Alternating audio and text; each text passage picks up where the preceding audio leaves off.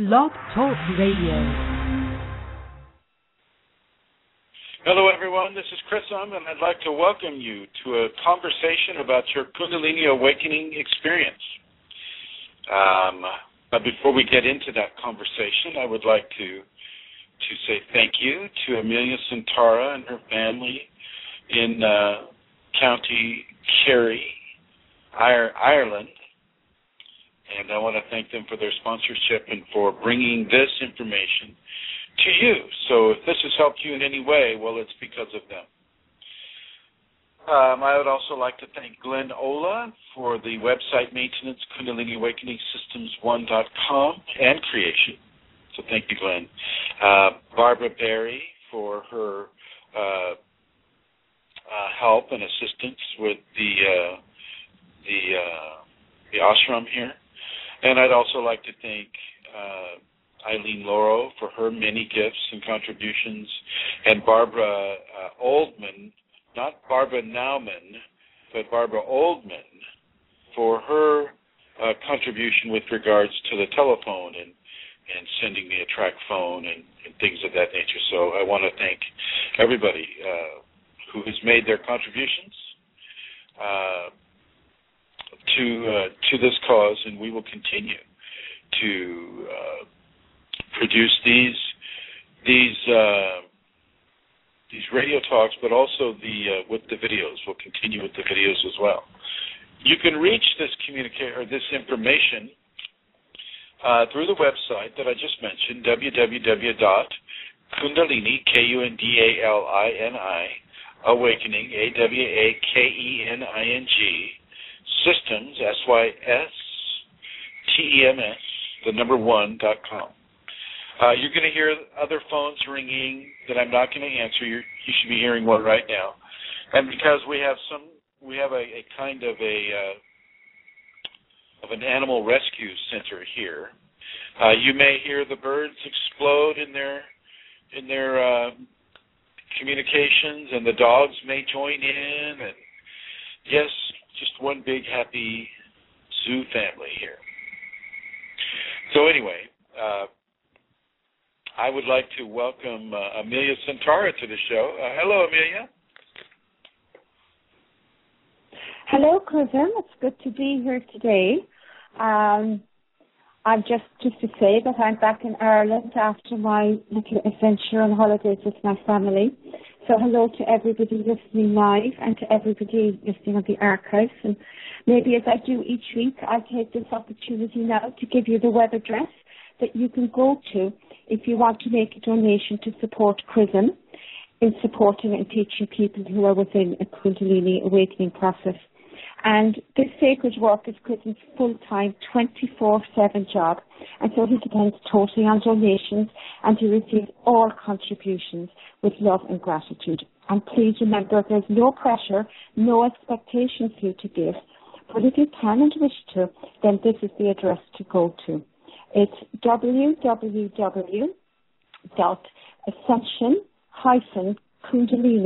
www.ascension-kundalini.blogspot.com. That's www.ascension hyphen K U N D A L I N I dot com. And you will see the donate button in the upper right hand corner. So again, Chrism, I'm looking forward to this Kundalini Satsang and it's good to be here. And I'll man the phones. So anybody who would like to call in and, you know, ask Chrism a question about any aspect of a Kundalini awakening can ring this number. It's an American number, USA, 347 934 0026. And we'd love to hear from you. Thanks, Chrism. Thank you, Amelia. Thank you. Uh, and as always, it is a blessing and, and a joy to have you uh, sponsoring this show and to be on the show. Uh, nice to hear that you returned from your your holidays in Spain successfully, and I'd like to say hello uh, to to Bruno Amadori and uh, guest number two seven one two, and I'd like to say hello to Adam. Hello, Adam. and uh, so we'll begin this this uh, this conversation. Uh, this is called a satsang because it is, once again, as I discussed the last two times, uh, it's a satsang because we are together in truth. We sit together in truth, and it is in truth that we discuss the various uh, different levels of phenomena and experience that a person can have within the Kundalini awakening uh, experiences. And with that, with that in mind, uh, today, today, I would like to discuss uh, uh, Kundalini fragmentation. And I just want to say that, that often, though not always, uh, the Kundalini activation will be accompanied by an intense fragmenting of the current life experience.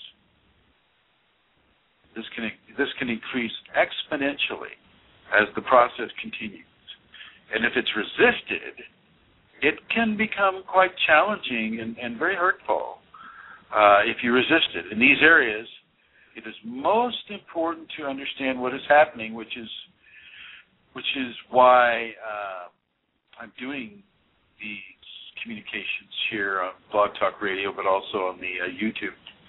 Uh, people need to have this information. With information, uh, you have power over your ego within the Kundalini awakening experience. What I mean by that is that uh, when you're confronted with something that is new and strange and, and you don't understand, it's typically processed through the channel of fear. It becomes very frightening, and, and in order to protect ourselves, we put up all these blockages to keep what we perceive as being out there trying to get us uh, in a negative light. Uh, and I'm going to suggest that with Kundalini, because yes, indeed, it is a new and extremely strange situation that a person will experience. Uh, you need not fear it. Need not fear it. Uh, it's more about how you respond to these uh, phenomena than the phenomena themselves at first.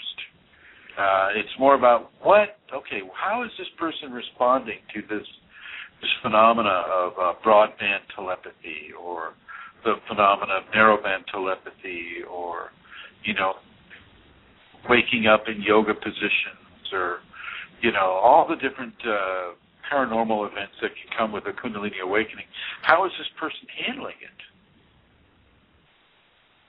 And on top of that, as it begins to fragment the aspects of their life that depended upon scientific valuation about what is real and what isn't, well, how are they handling that on top of that? So a lot of this, especially at the beginning stages, is sculpting the way your future experiences are going to to direct themselves. Uh, always, well, not always, but typically, typically the fear model is experienced. It, uh, it's, it's typically used simply because it is such an effective teacher of the qualities of Kundalini that that are uh, that are hoped for and and uh, and, and walked towards uh, truth, love, transformation, tolerance, patience, uh, you know, hard work, service, all the manifestations of love. I mean, you know, it's it's a there's a long list of Kundalini behaviors that are uh, helpful to the early process. Uh, and yet, you know, as you may need to find out if you resist it, well, then you begin to feel that challenge. You begin to feel what it is to resist the Kundalini, and it will let you successfully resist it for a few times uh, before it, you know, kind of kicks back and says, "Well, wait a minute, maybe it's time for a different way to go with this." Now, this isn't the same with everybody. The timelines are unique to each of us, so don't think that because person A has had Kundalini three months and is experiencing a certain phenomena that person B, therefore, you know, three months down, uh, you know, down the, the experience that they're going to have the same experience at the same time. It does not work that way.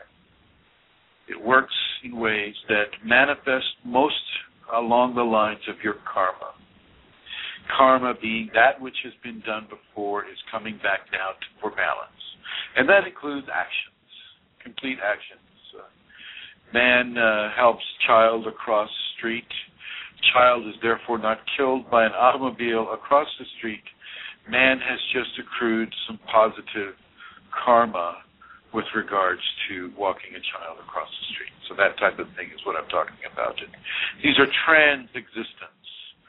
So because it, you know, it, it is of a, of a TE nature, trans existence meaning that it follows lifetimes of, of, of, of learning. And uh, because of the the you know the, the gift of reincarnation and the fact of reincarnation, we are able to sort of witness a a spiritual evolution uh, along a linear concept, if we look at it in that, in that way. Um, but just to be clear, everybody is going to experience similar things at different times, possibly even similar times. But but uh, underscoring the the idea and the fact that this is a very unique process. This is this is unique, and yet there are there are aspects of it that are shared. There are aspects of it that are shared. So you and your brother can have Kundalini. You know, he'll have it his way, you'll have it your way, but you'll both be having Kundalini. It's just your karma is not exactly the same, and so uh, karmically speaking, your experiences based upon karma will not be exactly the same. But you're both brothers. You're both having the Kundalini at the same time. So it's all good. It's all good. And that's kind of a that's a good way to look at it. Brothers, sisters, mothers, fathers, aunts, uncles, kids, doesn't matter. This is this is for everybody. Everybody gets this. They just don't get it at the same time in their life. And not everybody gets it in this lifetime either. So if you awaken and then your spouse doesn't awaken, it doesn't mean that you're more spiritual than her or him. It doesn't mean that at all. It just means that, you know, this is your time and uh, maybe this is their time to take a very supportive role because you took the supportive role last time. We always strive to balance. Okay. So, you know, I'm going to suggest that you really want to expect some Kundalini fragmentation to occur. And the fragmentation doesn't occur because something's being necessarily destroyed uh, it's not. It's it's it, it can often occur because something is being expanded or transformed. You know, destruction is not a necessity. What is a necessity in many cases, in most cases, is an understanding of what is occurring. And so, with these fragmentation uh, experiences, the person is is uh, continuously stripped bare of their assumptions and and uh, a lot of societal programming and and uh, many of the uh, fear models and the the uh, self-loathing models that a person may have collected uh, up to this point in their life. Okay, Kundalini doesn't really uh, want you to focus on those except for forgiveness and processing of them. You know, you you forgive the uh, the uh, the star players in whatever uh, situation that you're uh, that you're thinking about, any kind of a social interaction with family or friends or strangers. Uh, and you begin to to forgive these these actions and these these areas that these people were perhaps fostering against you. And uh, through that forgiveness, you know, you are no longer uh, trapped by their, you know, unfortunate intentions. You just forgive them. You never really were trapped. They're more trapped. Uh, the person who's sending the the uh, shall we say the negative vibes, the person who sends the vibe is is the one who gets hurt most by the vibe. But some people are willing to send it. so uh, I just want you to be uh, positive in your in your trust and and and and have trust in the competency of your own kundalini to keep that which is not uh, appropriate to your life away from your life, and it will do that. It will do that. Uh, once again, I, I, I am being reminded to tell you: do not take advice for your kundalini from someone that does not have it awakened. Do not take advice for your Kundalini from someone that does not have it awakened, i.e., someone that does not have it authentically awakened within them. Okay? It's very important that you that you understand this. They may be wonderful people, helpful people, you know, people who are wanting to give you a service to help you in whatever way they can. But if they don't have the Kundalini, they cannot advise you with it. They have no reference point for it. So let's move forward into our little personal Kundalini fragmentation right here. We can be greatly aided by an understanding of what is occurring and why. So if you know that you know these phenomena that you're having are of the Kundalini, well then you know you know and from that knowledge a, a level of strength and freedom opens up for a person and this level of, of, of strength and freedom and, and uh, trust uh, really begins to, to be expanded upon by the Kundalini, and it allows you to to process more of the phenomena at a greater level because your trust and surrender to the process. Okay.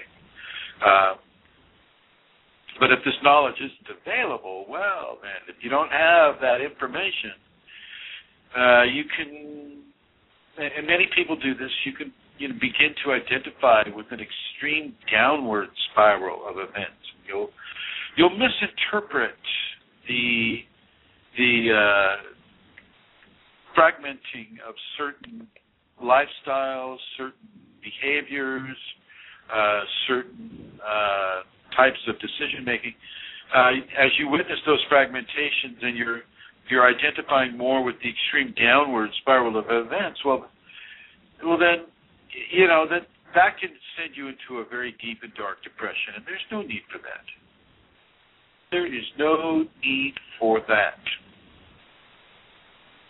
You know, if you've got three or more, or even you know, depending on what kind of phenomena, three or more of the of the shall we say major branches of Kundalini awakening phenomena. You have the uh, the energetics on the body, you know, where you feel the the waves of energy going up and down the body. You have uh, hot cold uh, happen events happening right after each other, you know, back and forth, back and forth.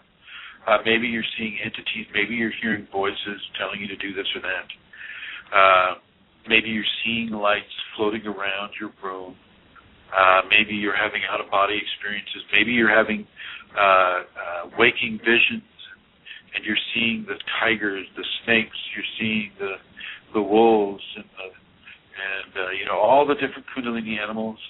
Uh, there are plenty of places to go uh, to to check. When I have one here on the uh, uh, Kundalini Awakening Systems One uh, website, and you know it's kind of like a personal checklist. Uh, and uh, this was uh, uh, this was from El Colley's uh, Shared Transformations. Uh, she put together a nice list, I thought. And on the list, you have muscle twitches, cramps, or spasms, energy rushes, or immense electricity circulating the body.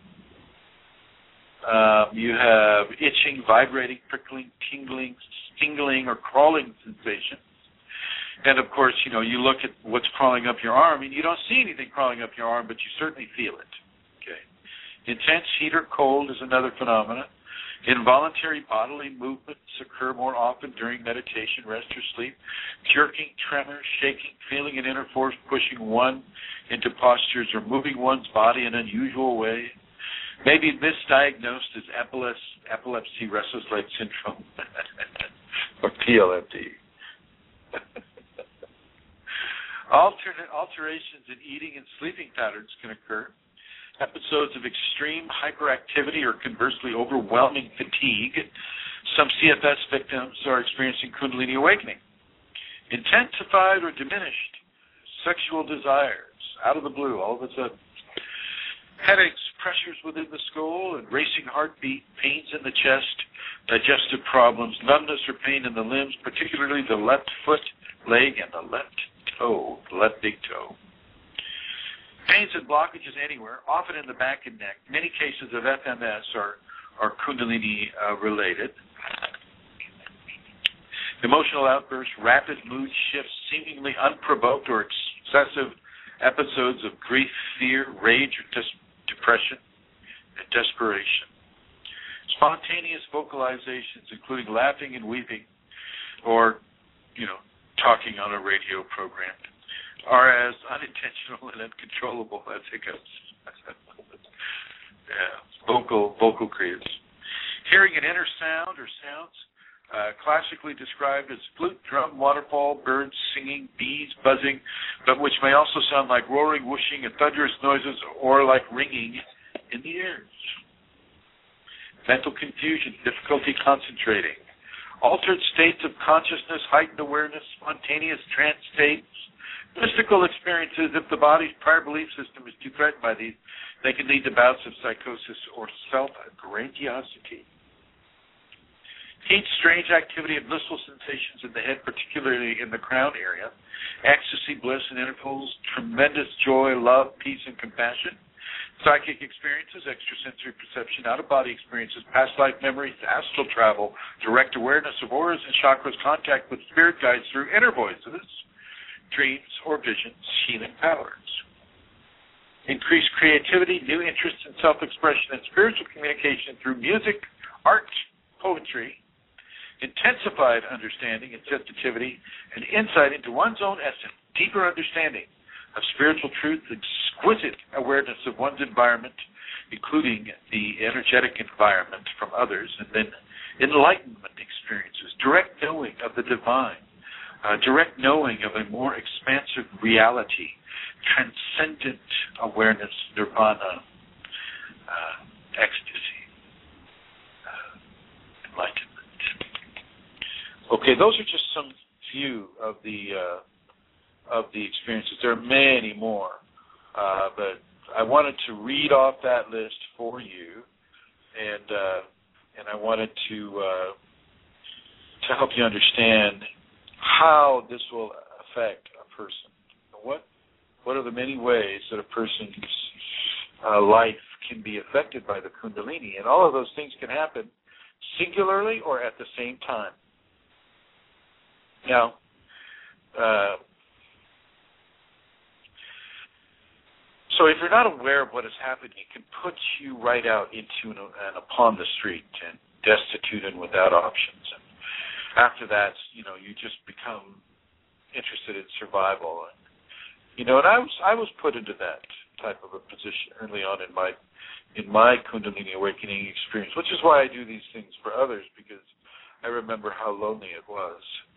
Uh, for me, uh, I would not choose this for you. I would not choose this for you out of compassion. and yet, on the other hand, and yet, on the other hand, I would choose this for you so that you would learn. But of course, you can't walk in my karmic footsteps. You have to walk in your own. So I suggest I suggest that you welcome this inner knowledge. Welcome uh, into the knowledge of grace about yourself and about others and about why we're here, and what we're doing while we're here. Okay? Uh, do your best that as the Kundalini continues to come and continues to fragment your reality, forgive them. Forgive everyone who may have ever offered you harm or and forgive yourself for ever offering anybody else harm. I will suggest that you start with the identification of what your expectations and goals in life are. Okay, let's just, you know, what's the assumption? The assumption is you have the Kundalini, Well, okay. Big deal. What does that do for him? Hello, Chrism. May I interrupt you? Hang on a second. Let me get on over to your little channel. There we are. Hello, Centaur. Lauren. We Lauren, Lauren. I'm going to pack. We have a Lauren, and who'd like to ask you a question, Chrism? Very good. Very good. Hello, Lauren. Hi there. Calling from Canada. Big Hi, time Lauren. fan of yours. Big time fan of yours. You've really been helping me through my process. Really much appreciate Well- all the resources and the effort you put in. It's, it's just just amazing. Well, thank Um, you, thank you, Lauren, and, and and and many thanks to Amelia Centaur and her family for for making this available. Oh yes, this no. I mean, I've been going through all the old blogs, and first time I've had a chance to to do some live stuff with you. Um, I posed something uh, on a, one of the uh, chat rooms a while back uh, when you're talking about radiance, and I, I want to kind of follow up a little bit with it. I, I had my first sweep about a year ago, and the energy has been building and building. I haven't experienced any of the wonderful phenomena such as uh, entities and OBEs and fun stuff like that, but I certainly have a lot of a lot of what was on the list you just went through on the other thing. Luckily, nothing on the downside of emotional outbursts and things like this. But uh, but what I've been experiencing is the really really strong vortexes, which all seem to be uh, coming out of all the uh, the chakras. It seems like you know the chakras are just building up, and I just feel these strong vortexes swirling around, and they seem to be getting Well, bigger well, and bigger. And I'm Lauren. I'm really wondering if uh, um, you could comment on how that process kind of builds, and you know where does sure. it kind of lead to? It's interesting that you asked me that question. Uh, you know, before a show, like a couple hours before a show, I'll just be going, "Well, geez, I wonder what I'm going to talk about today." You know, and I have no idea what I'm going to talk about. You know, right up to the point. And uh, so, one of the thoughts that came to me was exactly what your what your question is about, Lawrence. So, thank you. So, I, I guess that oh, was thank just. you. Uh, That's good. Thank that you for me at work. so yes, okay. So he's asking. you- This is about energy, uh, uh, energetic anatomy dynamics. So basically, when the uh, kundalini is coming up the spine, and I'm just going to assume that things are going from a bottom to top uh, direction. yes. Uh, what will happen is, is, is Lauren Lauren describes them as a as a uh, vortex, and and they are they are each chakra is its own vortex. It's a it's a vortex of energy that has movement, and that movement uh, goes in more than one direction. But from a linear standpoint, we'll say, well, okay, it's moving to the right or spinning to the right. Uh, when the Kundalini comes into these chakras, it greatly, greatly intensifies and amplifies the energy in the chakras. And you got to remember, if you're looking at a seven chakra model, uh, the chakras are placed right over uh, major nerve plexi. That's P L P L E X I, and these these plexi, which is plural for plexus, these form a plexus of energetic uh, interaction above each of the neural uh, plexi along the spine. So you have the the seven neural plexi that are along the spine from the top of the head to the to the base of the uh, tailbone. And these neural plexi are now having a new energy, well, new to us, shall we say, new to the to the ego consciousness. A new energy infuse it. The body itself knows exactly what to do with Kundalini. The body doesn't need any help from the person's ego. It knows exactly what to do. It's just that the ego has its hands in our emotional body, in our mental body, in our psychological body, and you know, and the spiritual body and the physical body just kind of have to deal with that a lot because you know, ego is what you know pushes kind of a fear mentality sometimes. And uh, but as as the kundalini is infused into the vortex, as Lauren was saying, of the chakra, uh, with you know with energy dynamics, the more energy, the more of a vortex you have, a greater expansion, and that there are also uh, stages within the enlightenment of a chakra where uh, certain levels of stimulation will initiate one kind of response, and then a further level of stimulation will will uh, bring about a a different response. So if your chakra is spinning at like say three to four RPMs per minute, of course. so yeah, we'll use a, a car mechanic uh, uh, analogies here. So if your first chakra is spinning at uh, 3,000 RPM, and the kundalini kicks in it, and now you're now the first chakra is spinning at 130,000 RPM. Well, you know, you definitely know because of its effect upon that vortex, which is sitting right above the neural systems, you know, within the human body. Uh, you know through your nerves and through the effect of the nerves upon the body that something new and different has taken place, and and uh, this realization will only increase as as the the spinal sweep moves up the uh, the spinal column going through each of the seven, if you follow the Sanskrit model, each of the seven uh, uh, neural plexi centers, or you know, spinning wheels, as they're called, chakras in the Sanskrit. Uh, so Kundalini is often seen as an amplif- amplifying force. Uh, it can choose what level of amplification it wants to imbue upon that awakening chakra.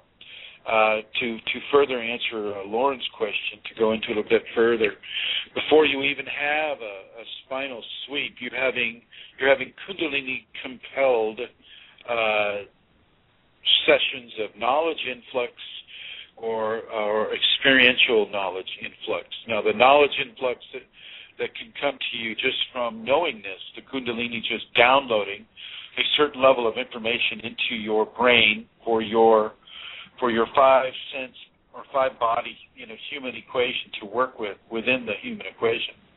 Uh, with the Kundalini, uh, you know, it's, it's it's it's quite strong, and so the the expansion, the effect of the expansion can be very strong for a person, and it can indeed begin to fragment that person's reality matrix. And it's you know it's very important that we that we begin to to look at this fragmentation not as just uh, terrible, terrible, oh my gosh, change, change, change, but as a as a positive thing, as a positive event. You know, I'm pretty sure the butterflies aren't going, oh shit, I have to grow wings. Damn it. so I would like I would like to uh, to take that attitude. Don't resist your wings. Don't resist your wings. Let your wings grow and nourish them and spread them wide. Uh, really, really allow that to happen and to continue with Lauren's uh, explanation. Lauren, the uh, the feelings associated with a with with Kundalini burst treatment of each chakra uh, can be quite large. But uh, you know, as I look at you, Lauren, the uh, the Kundalini also uh, applies certain levels of filtration so that you still are able to walk around the house, drive the car, uh, you know, do the things that you need to do in order to live your life. Have you found that to be true? Yes, every once in a while I've got to just, you know, it kind of comes to me in terms of what you were describing before, the burst, and uh, I've got to kind of lie down and diffuse that, or if I get really fatigued, it'll burst in me again. It's sort of like go lie down and then work me over. yeah, yeah, yeah. so, exactly right. But but it, it does at the right times. It doesn't really impart. If I, I've got situations where I've, as you say, done driving, and it, it doesn't. It does it at the right times. It, it gives me a break. Well, I think yeah. I mean, I mean, as I've said so many times, you know, it knows us better than we know ourselves, and uh, so it knows when to inject that that little, you know, extra attention to say the third chakra or wherever for you uh, when that needs to take place. And you have to remember that with uh, uh, Lauren, are you familiar with the uh, the television show Stargate SG One? I used to watch it in the old days. Okay. Well, in the Stargate SG1 model, they have the Stargate, and they have to have seven addresses for the Stargate to work, right? Oh, I, I didn't even pick up on that. I haven't watched it for a while. That's cool. Yeah. So every planet has a different uh, address of seven, correct? Mm-hmm, mm-hmm. And, and the possibilities are into the billions. I mean, the mathematical variations can go into the billions. Uh, so, so I'm told. Uh, and so, with the Kundalini, as the Kundalini works on you, Lorne, as it works on you and it's changing you, well, it may spin chakra number one at 3,000 RPM, but chakra number four may need to spin at 12,000 RPM until 1 o'clock in the afternoon. Then it may need to shift down to 300 RPM uh, at around 1.30 and then back up to 9,000 RPM at around 4 in the afternoon. You know, and, and what, I, sure. what I'm trying to illustrate here is that uh, it's a fairly complex recipe uh, for, for people inside of the Kundalini awakening events.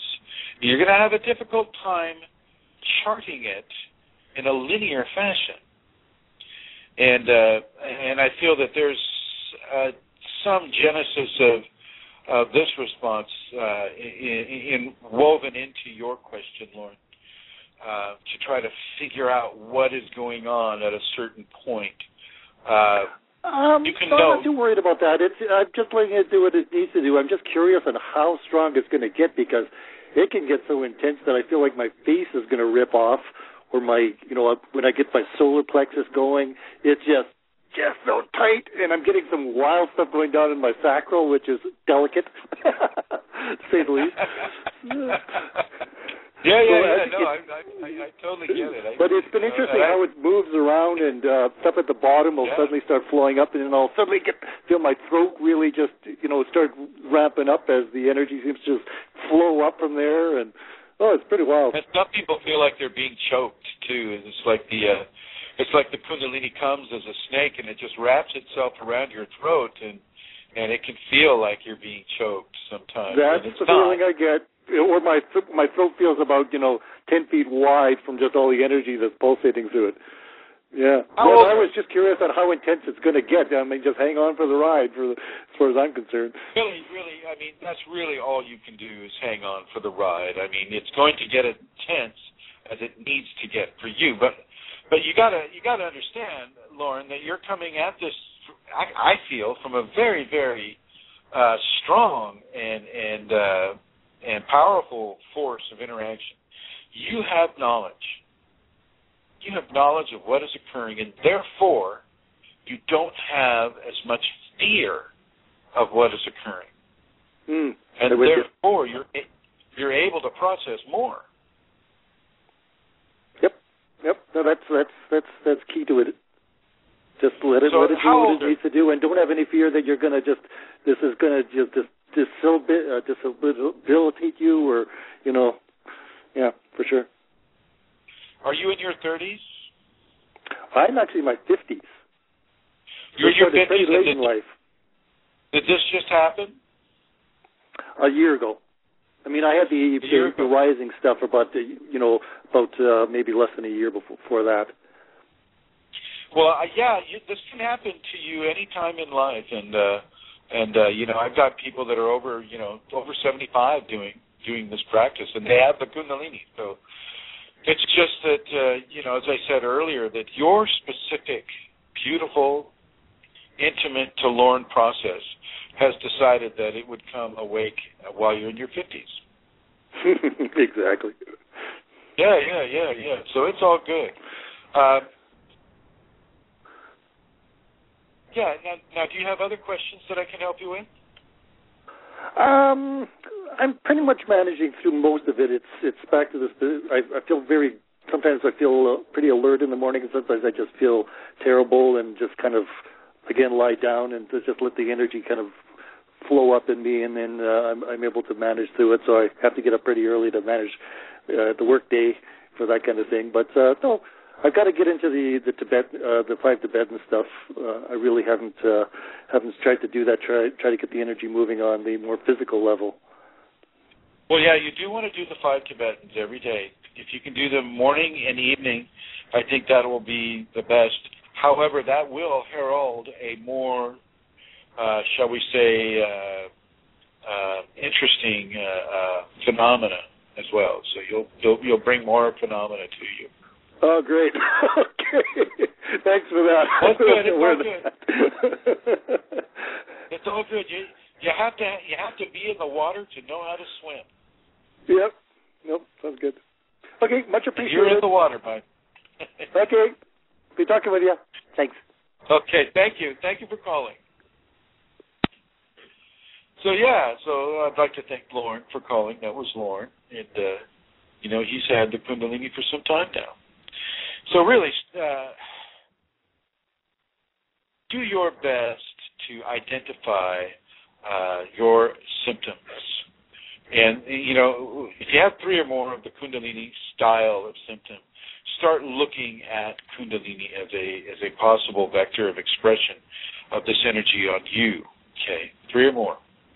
Uh, and as you do this, and, and start adding up what it is that you have done in your life spiritually, where where have you been guided? What have you been guided to do? Did you did you live a life where you you know you're in, in a belief system and you follow the belief system of your parents who follow their parents who follow their parents who follow their parents so you have a long traditional uh, uh, belief system line of of, uh, of uh, experience in your family, or did it all of a sudden were you living a, a, an atheistic or agnostic life, and all of a sudden, boom, Kundalini awakens, and then all of a sudden you're you're having all of these interests and you're exploring uh, new spiritual phenomena. I mean, look at this for yourself and see where you are with it. Have you always have you always been propelled towards events of a spiritual nature or of a phenomenal nature, you know, like ghosts or, you know, OBE or, you know, life after death, those types of, of scenarios. Look at yourself and look at look at uh, how Kundalini may have been inserting itself into your life at a much early age, much earlier age than you would have assumed you know, you're always buying that spiritual book, or you couldn't stop reading sections of a spiritual book like the, the Bible or the I Ching or the or the uh, Quran or you know any of the uh, sacred books that we have in this world. Look at this and begin to find divine orchestration within yourself. And as you find that, really begin really begin to examine your expectations and your goals in life. And within that framework, see if you can identify aspects of your attachments to these qualities that resonate with loving forgiveness and those, uh, you know, towards those who may have caused you pain, and then, and then repeatedly forgive everyone, including yourself and do it over and over and over and over and over and realize that you know grudges are made when we hang on to a hurt and don't forgive it. And so look at all the hurts you may be hanging on to and forgive that. Forgive all of them. Do it. Get it done. Get it over with. But start with forgiveness, as it can ease open uh, commonly closed heart centers uh, that the ego of a person may harbor, you know, ideas or issues of revenge. You know, really work on this. This is a big, big, big area, I really want you to give this some some great attention because as these blockages are released, an infusion of more uh, Kundalini uh, opens that area of the heart and allows for the next stage of blessings to be received. So it's very, very important to to look at your levels of forgiveness and to go into these levels of forgiveness consciously. Consciously. Uh, for those who would like to call in, the guest call in number is United States area code 347 934 0026. That's 347 934 0026. Uh, and moving onward here. Uh, Kundalini-based life fragmentations are, are, are rarely easy and simple. Uh, the Kundalini itself is rarely easy and simple. I mean, it's easy if you have an idea, you're understanding what's what's going on, and it's simple because it it often goes to change you in very simple ways, like don't eat meat anymore, or, or don't eat plants anymore, or you know, uh, you know, do do the five Tibetans every day, uh, that type of thing. It will it will begin to change you. Uh, but it, it's, there's no guarantee that this change is going to be easy or simple. Uh, it'll be as easy as simple as our surrender allows it to be. If we commit completely to surrender to the Kundalini divine within us, and seriously commit to that with sincerity and truth and honesty, then you'll then you'll begin to understand. You'll begin to understand in very very supreme ways. Uh, many many of the explanations will be beyond words, and so don't expect it to always be within a verbal uh, communication platform that is being used to explain things to you.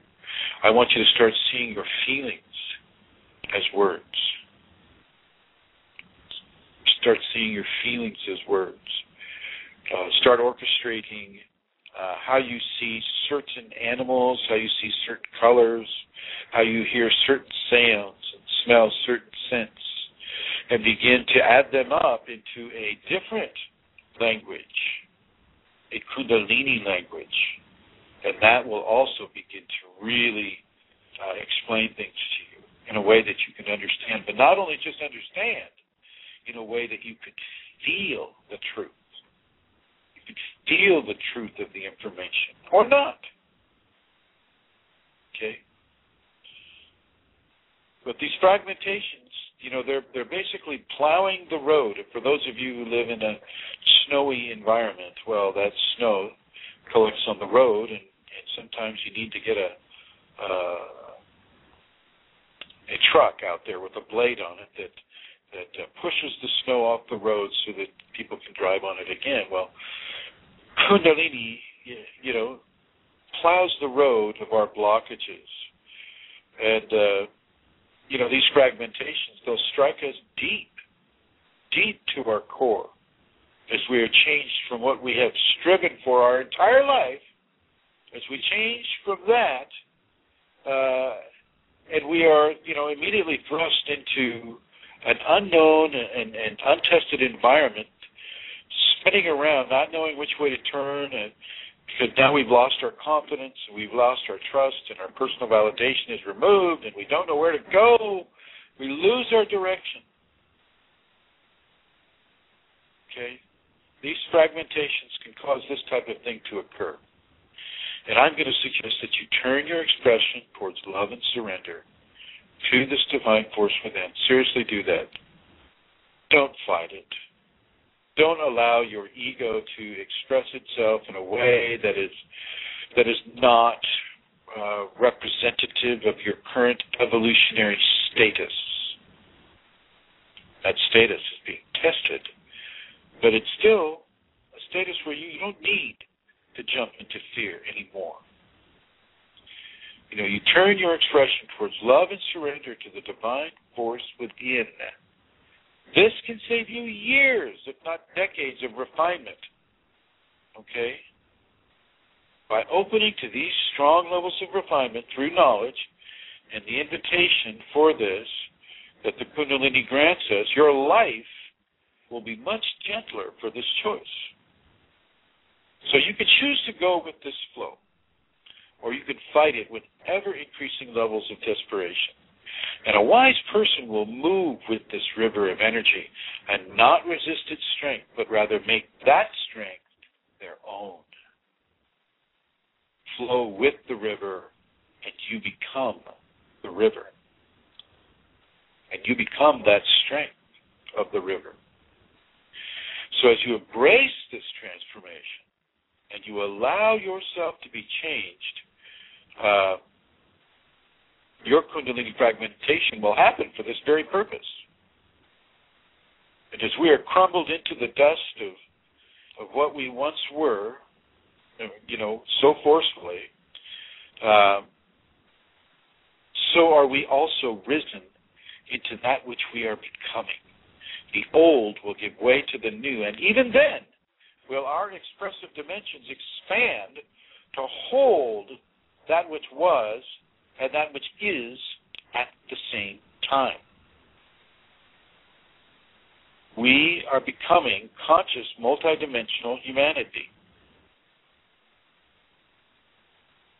Okay? Once again, the number to call in for any of your Kundalini questions uh, is uh, United States area code 347 934 0026. Uh, and it's nice to see the familiar faces out there. Good to see you. Um, so, yeah.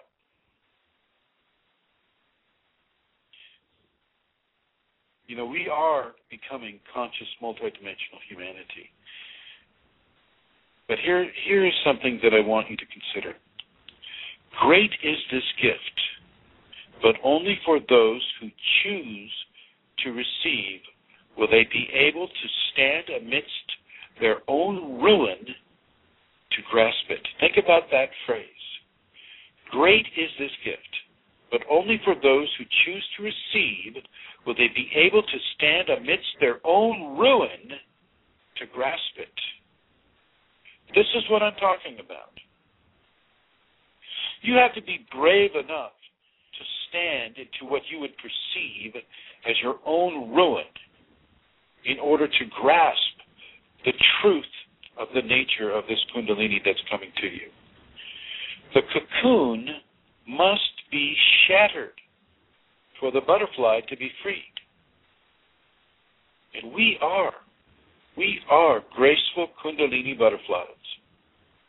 And let us take that lesson into ourselves when and if this aspect of the Kundalini awakening comes to us it will go much better for those who flow with this Kundalini inner volcano rather than resisting the, the lava that is unstoppable. And if you're in the middle of this right now, it isn't too late to make your adjustment. Just go within and begin to open to this flow. Even if you have entities screaming at you or you're being pushed into kriyas or you know you're seeing things that are frightening to you you're hearing things that are frightening to you just go into your own pocket of love and give in to the divine flow. Don't pay attention to any of the words that you may hear. Don't pay attention to any of the visions that you may see don't pay attention to any of those things you don't have to pay attention to them Okay, you don't have to pay attention to anything that you that you're experiencing right there. And I'm gonna I'm gonna ask you, I'm gonna suggest to you that you choose not to focus so much on, say, some of the negative uh, visual experience that you may see or negative audio experience that you may hear. Okay, don't focus so much on that. Focus more on the positives. You know, go within and open to this flow of Kundalini open to it.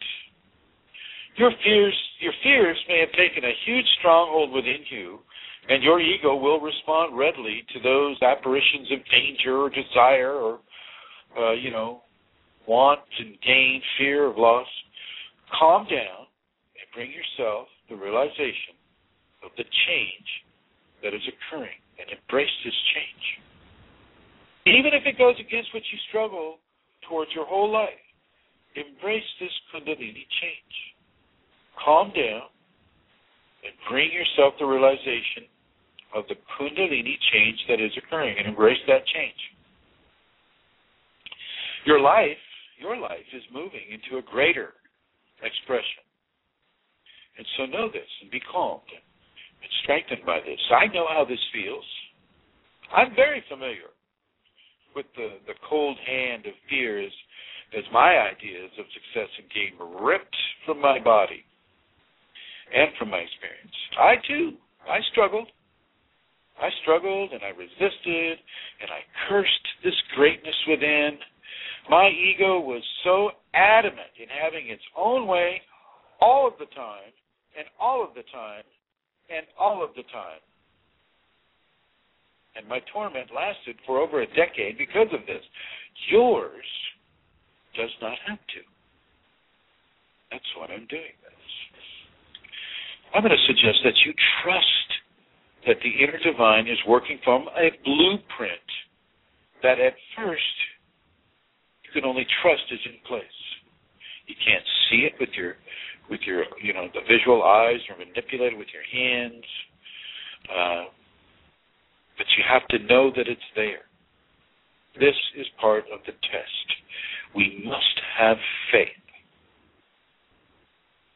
Okay. We must have faith in the development we're experiencing. And for faith to develop, we cannot know the answers. For faith to develop, we cannot know the answers, but must instead trust that there is this relationship of grace within us, building us anew from within.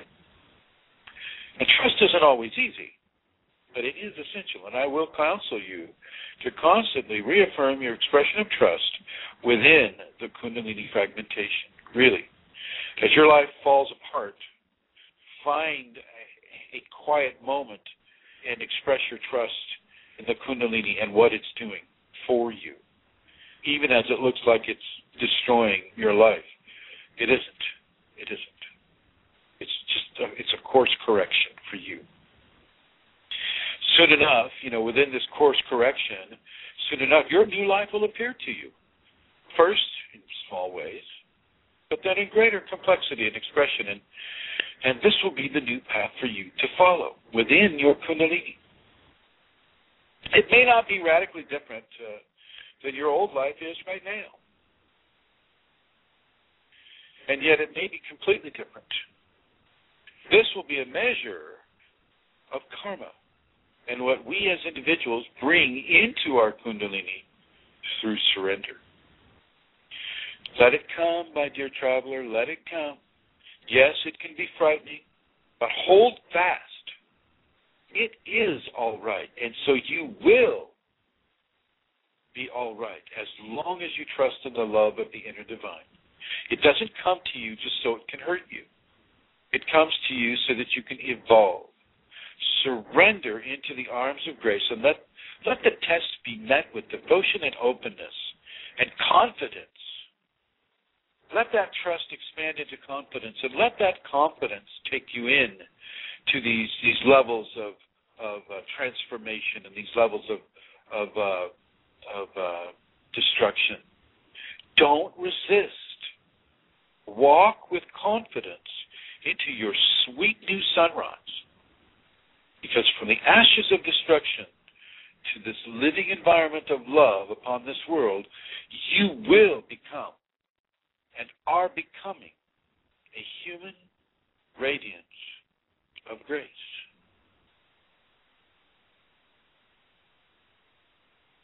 This is what's happening for you right now. Don't even try to diminish it. You know, people and their modesty. If you're having this right now, just like Lauren, Lauren was having this, Bruno's having this, Adam is having this, Amelia is having this, Lots of people here watching this are having this. Okay.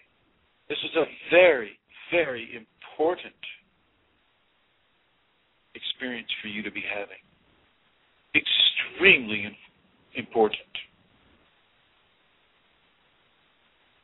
You are channels of change for this world. And because your ego is being kept out of this transformation, uh, you are able to change within a level of purity that uh, that would not otherwise occur.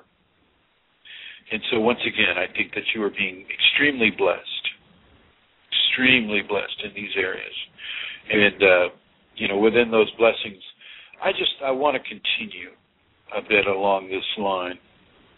Um, you know, in, in my experience, there is divine reality. And I've experienced it. I've been there. I am there. It's talking to you right now. I feel the connection coming straight through. Uh, it, it is this divine reality that calls a person to the Kundalini. It is this divine reality that even allows the person to know the word and to even hope to awaken it. Okay, I teach from the interaction of the divine reality, the divine grace within me, which is gifted to me from the Kundalini presence, which itself is divinity. And the transformation that occurred due to this presence, because of this, I'm only partially focused on this reality, as there is much more to the potential of the human being and the multiple realities of potential that exist outside of the five sense model most people partake of. And it is from these areas that the gifts of Kundalini originate. These areas impressed upon the physical community of what makes a person. And when I say physical community, I mean communities of cells, doing different jobs, communities of of uh, atoms doing different jobs, molecules do, doing different jobs. I'm talking about the community that is your body. Okay, that is your body. Uh, these communities uh, are changed and upgraded by the Kundalini uh, occurring to them. And this form of, of, of exaltation doesn't stop at the physiological, but it continues on into the mental and emotional, psychological, and spiritual areas. And from these compressed interactions is the total person accessed and the total potential of that person begun to express. To express. And as we begin to understand the ocean of knowledge that comprises the Kundalini and, and its interaction with us and its place within the divine filaments, we see and experience that it is also a form of divine imperial consciousness. And I use the word imperial on purpose as it as as the Kundalini has its imperial agenda with the person that it's awakening in. And that agenda is movable and yet uh, immovable. It's it's it's flexible and yet it's inflexible, and it, it depends uh, on the karma of an individual a lot about how uh, this agenda is going to be formatted for this individual.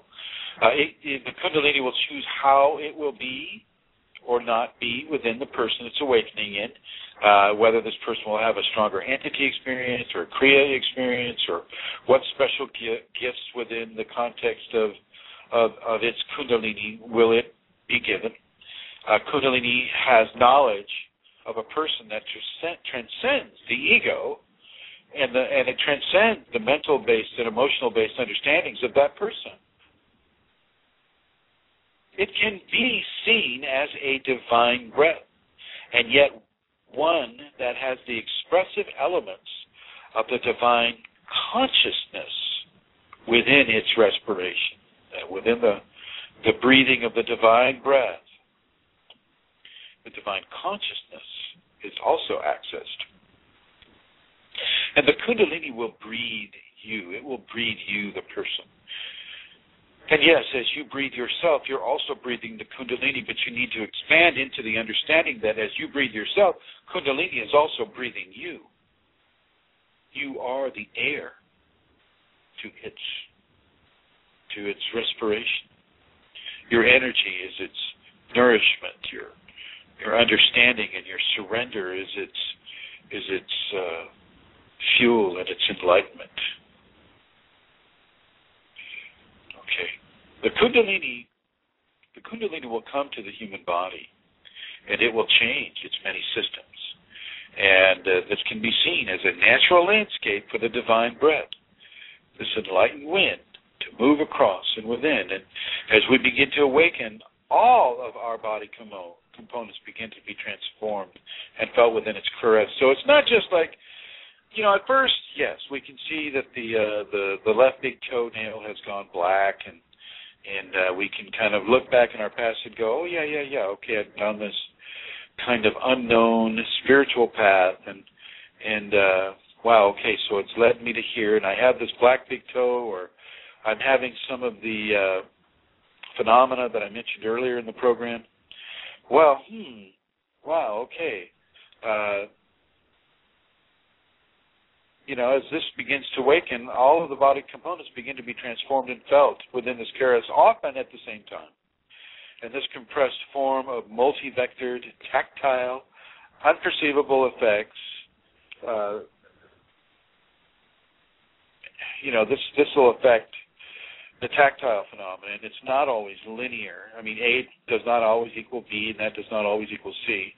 Uh, though some are similar, and some are far and away outside of what we can comfortably call a zone of understanding. Like the wings, you know, people saying, "How can I grow wings?" You know, and how come I'm feeling these wing stubs up there at my shoulders, and what's going on with that? Well, wings, wings are are a very real and very standard and very substantial Kundalini gift, and it's an indication of the spirit, uh, the spirit uh, flying into enlightenment, or the uh, the wings of the spirit taking a person into enlightenment. Uh, and as we begin to awaken all of our body components, and these begin to be transformed, uh, you know, experiences like the uh, the wings can become more pronounced, and yet you know, they'll be far outside of your current understanding of, of, of why you might have a, a sore shoulders and why you might be perceiving wings when physically you don't seem to see them, and yet you physically feel them attached to you, and you can move them. Okay, so there are plenty of, uh, of, of experiences of a Kundalini nature that I have not gone into. Uh, so much publicly, and yet it's only because of the fantastic aspect of it that I I hesitate to do so because you know, as you know, I already go out way out on a limb uh, with some of uh, of what is being said about life and about the agenda of the Kundalini in a person. Um, adding wings into the mix, you know, just makes it a little bit more uh, difficult for people to to uh, to ingest and, and to uh, metabolize. Um, so there's that. Uh, in um, yeah, it is in the area of of life uh, that Kundalini occupies, but also in the area of what we call death. Kundalini is beyond life and death. It's one of the creations that allowed life and death to even occur. Um, Kundalini is the living word. It is that thing. And it is that living word or spoken or recorded or transmitted form of the Kundalini uh, as it is given through the organic human form to other human organic forms. And uh, we are that living word. We are that life and that death that is not alive and yet is not death uh, we are beyond, in many ways, beyond the uh, the areas of refinement that much of this world is dedicated to. We're beyond that, and the fact that, that the Kundalini living word is is occupying your body and is coming through you and changing you into that Kundalini butterfly. Well, that that should be proof enough for most of you. Okay. But living with Kundalini in the Western world can be very, very challenging, and and this is what uh, most of my conversations will be about. And this, so you know, living with this Kundalini uh, awake in your body inside of a world that only recognizes mundane uh, nature and mundane science. You know, it's only the explainable that we like to trust. Uh, you know, I'm going to suggest that this Kundalini is the communication of the divine from the source of its nature within the human form.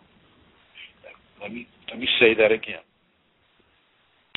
The Kundalini is the communication of the divine from the source of its nature within the human form.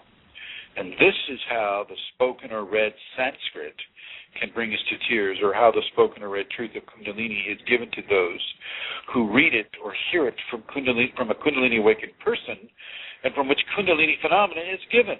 Music, poetry, and mathematics are also able to give of this quality. And this is what happens when I'm singing or when people listen to the CD.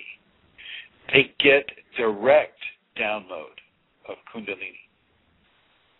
They get direct downloads from the Kundalini, which is why you'll see that I do a lot of chanting. It's because uh, the, the, the the words in the chant are very important, but the most important thing, really, the most important thing is the person that is listening to the chant.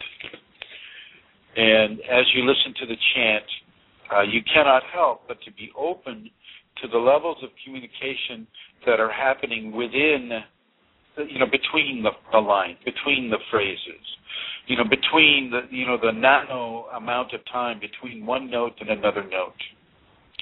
You know, this is where much of the Kundalini information is written for people, which is why, you know, I put out the CD so that they can receive those downloads from the Kundalini. Okay. It's important that more and more and more of us become available to the, the divine source uh, from its nature within our human form. Okay, this is this is enlightenment. Kundalini is that. Okay. And this living word, this is the living word that can heal or transform or create. This is that sacred communication that comes forth from the divine within to have its grace received through its utterance. And in many ways, this, uh, you know, in, in many ways that this utterance is given. The voice is a vector of Kundalini in an awakened person. If that awakened person has been given the the skill set of of voice transference, uh, thoughts and words, thoughts and the words they use are filled with the sacred breath of the divine uh, when given from a Kundalini source of specific radiance. And the, the specific radiance I'm speaking of is is whether or not the uh, Kundalini itself has given the person uh, the ability to to speak with the Kundalini voice. Uh, music and dance, science, art, mathematics all have the qualities and, and the vectors to to give the living word and to place the living word into uh, the life-filled systems of creation, uh, you know, upon this this earth and upon this world. Uh, it is from the sacred and divine form of communication that the words of masters long ago turned to dust live on in the brilliance and the continued radiance of their enlightenment. Okay, we sit on the shoulders of those Kundalini people that have come before us. And you may not have thought that you were spiritual this or spiritual that, but you are. If you're having the Kundalini, you are, and there is no denying it. There is no denying it. Because this isn't just heat, this goes beyond heat. This isn't just cold, this goes beyond cold. This isn't gravity, it goes beyond gravity. It goes beyond science into spirituality, into uh, devotion, into love, into the into the the uh, creation made of love. You know, and it's this is not a, a contract or, or an expression that is made up of the elements of, of the earth or of this physical universe, only partially only partially because our bodies are, of course, of that. Uh, but this is this other part is of the divine reality, and its its effects linger and they don't dissipate. Divine energy does not evaporate like like other forms of energy do. It's permanent. Okay. Uh, you know, the Kundalini does not die or get weak or fall away into the echoes of the past. The ears to hear it might, but the Kundalini does not. The light that is to join with may die and wither, but the living word, the living Kundalini, may not ever do this. Okay. This is the quality of the sacred syllables that are forming and caressing your heart and body, and it is from this exaltation that your enlightenment comes. So listen and read and hear and sing and join in the sacred gift of love as it is awakened within you. You can recognize this. You can recognize it and you can know more about it and you can open yourself for it to know you. This is the sound of life, of creation, of the sacred force.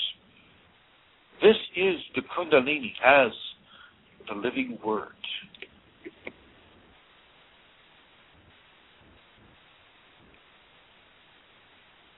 Now, if you'd like to call in the program, uh, it is uh, American area code, and that is 347 934 0026. 347 934 0026. If you have any questions about uh, you know what we've been talking about or what I've been saying, I know, I know, believe me, I know that uh, that uh, you have to listen to these conversations more than once. You have to listen to these conversations more than once. There's too much involved with them. There's too much information that's being given. So I really, really do encourage you to listen to these conversations two or three times. I know I've, I've said it for two hours, and you know, gosh, most of the time I can fill that up pretty well. Sometimes I'm not allowed to. Uh, but this time, uh, this conversation is going to go the full the full way, and and I just want you to know that that the um, the, the guesses of science are not always supported by what the Kundalini does. The assumptions of science are not always supported. I mean, Kundalini is a is, is a proof that evolution can be sudden. And I will suggest that the Kundalini can speed up the evolutionary process for for uh, uh, an individual greatly. And I will also suggest that we do not know what the divine blueprint has in store for us as we are in the middle of the transformation from the Kundalini. We don't know this. Once again, you know, to to to to have faith, we cannot know the answers. Or to develop faith, we cannot know the answers. So we can't predict it or forecast it while we're having it. Your teacher may be able to because you know they have a greater uh, they have a greater visibility, but it's there and you are evolving within these forces, and they do apply to you, and within the structures of grace that support your own unique divine evolution. And as you are changed, so are you different. And how that looks and feels is going to be determined by your levels of surrender and acceptance to the Kundalini grace, as well as from a karmic pattern of expression. Uh, it is beautiful and it is vast. Uh, and, and it's a vast new experience and expression that comes from this sudden and irrefutable evolution. I write the word irrefutable because it is that. We are changed. And in many ways, we are upgraded and advanced into areas of expression and experience that, norm- that are normally held for those who hold a very, very high spiritual advancement or expression. And it's not so easy for us to surrender to this new, sudden evolution. Because once again, it requires trust. It requires trust in an unseen and not well understood force, and we can be so very fearful of anything we do not understand from an ego consciousness standpoint. We want familiarity. And yet, this cannot always be given within these divine, divine parameters. You don't always get to know. You will be trained to trust. And in that training for trust, you will have to do it whether you come kicking and screaming or from your own volition. In some things, we are not allowed to have an ego or conscious choice within that fleshly expression. So, uh, Kundalini will force you to change. And how that force comes is going to be determined by you and, and your special karmic uh, pattern. But it has the ability to force us to do whatever it wants us to do. Let's not let's not fool ourselves. Divinity is big. It's what made this world. It's what made this universe. Uh, the very fact that it is communicating to us through our Kundalini uh, is a is a very high honor for for us as as organisms in this this uh, uh, macroverse. So yeah, so we have to be trained to trust, and uh, we won't always get our choices. Uh, this is where we're forced to have trust and develop that confidence in the Kundalini process that is being given to you. And I am going to suggest that you honor this great and amazing process within you. You must embrace your evolution. And through this embrace, are you able to be assured that you are in harmony and resonance with your own divine evolutionary imperative?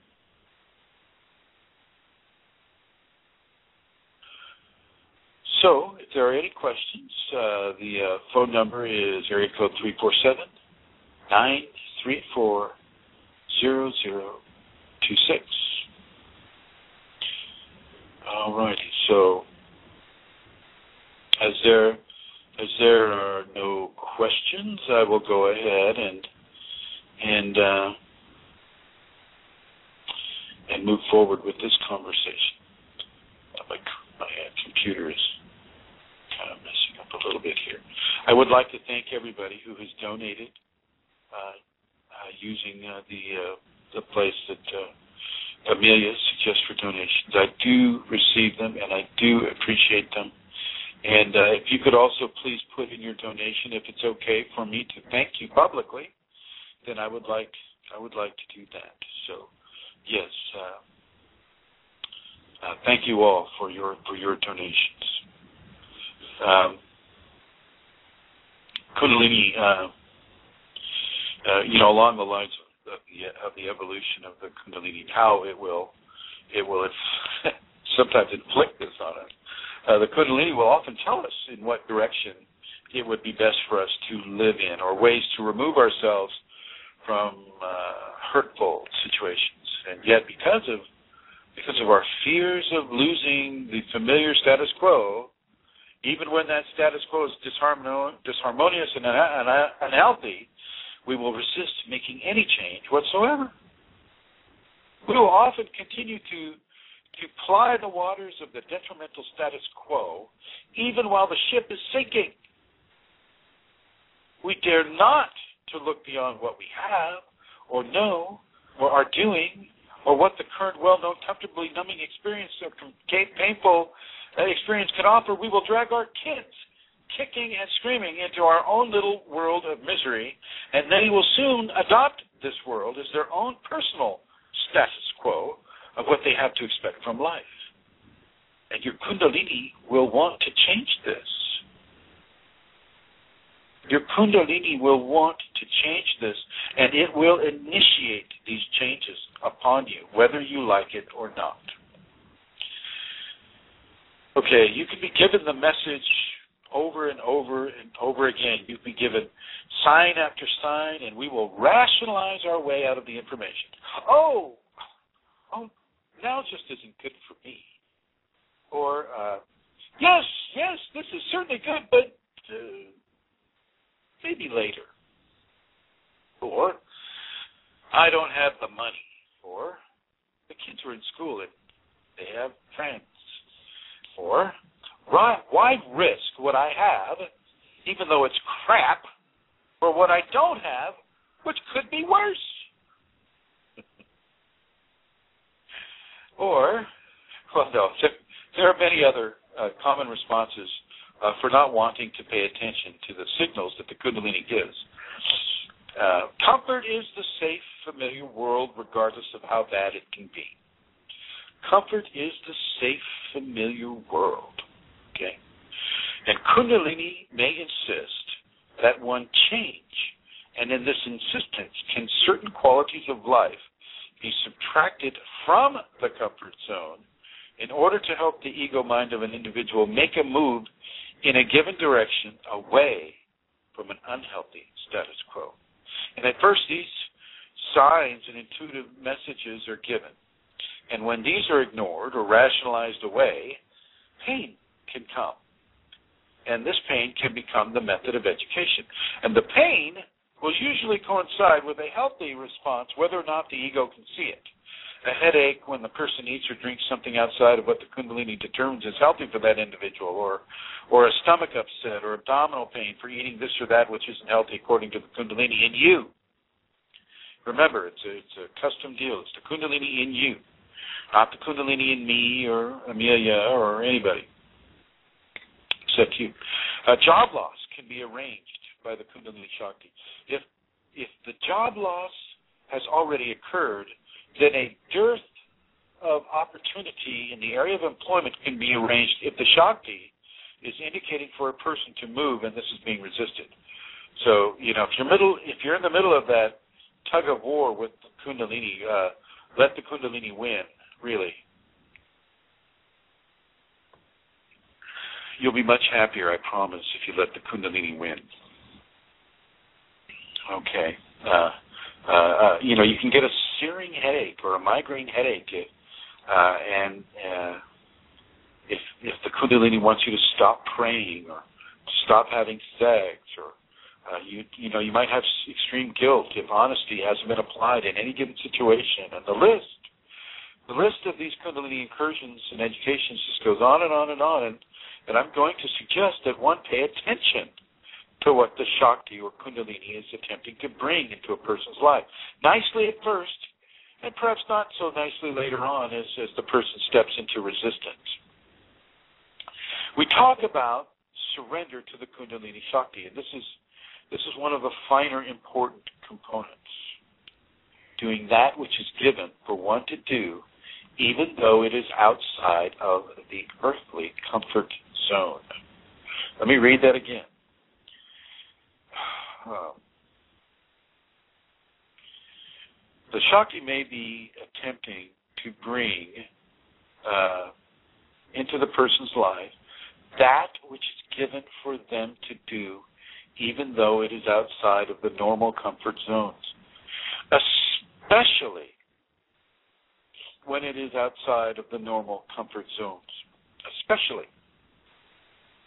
We need to have the courage to act upon that which is being given we need to have that courage to act upon that which is being given.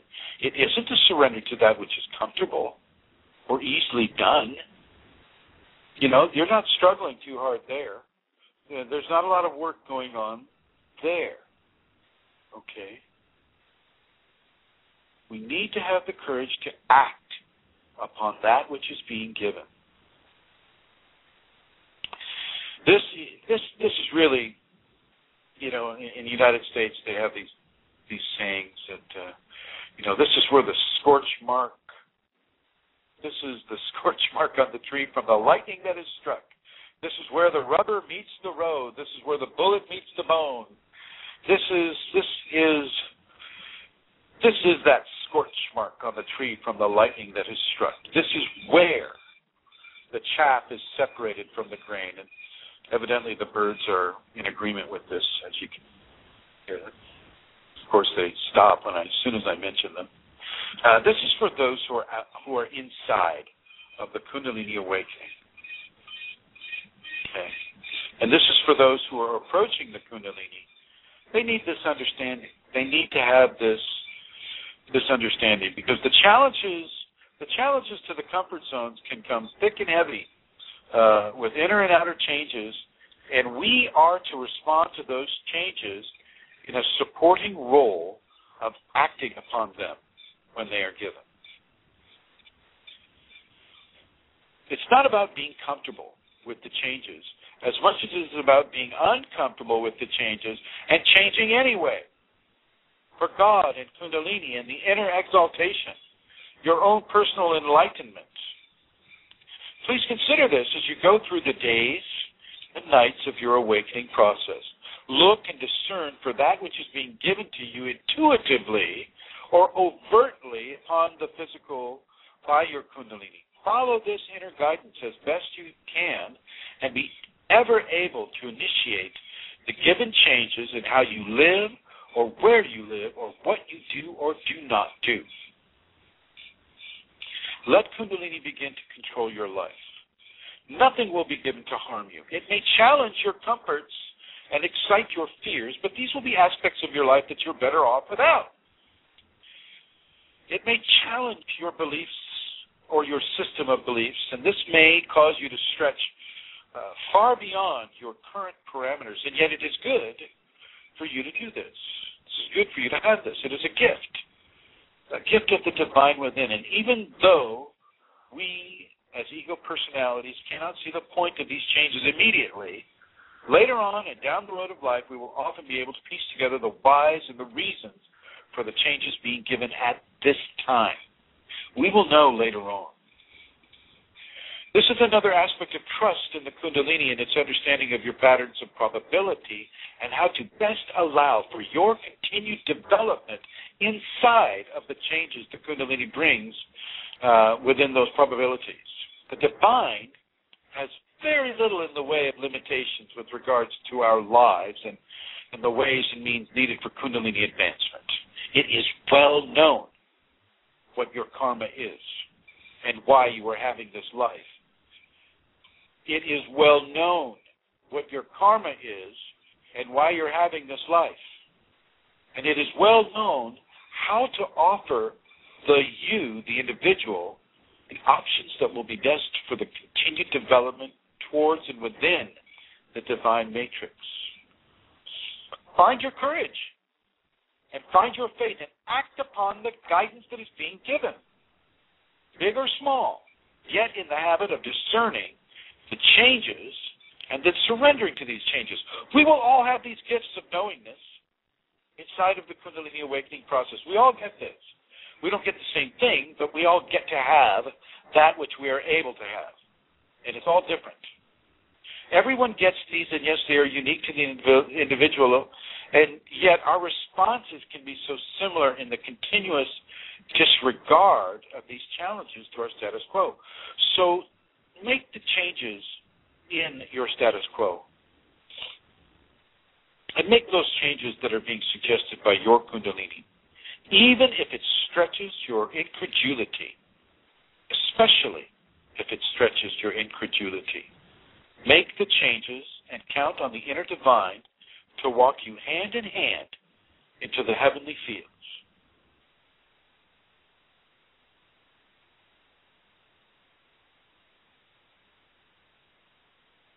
Once again, you can call.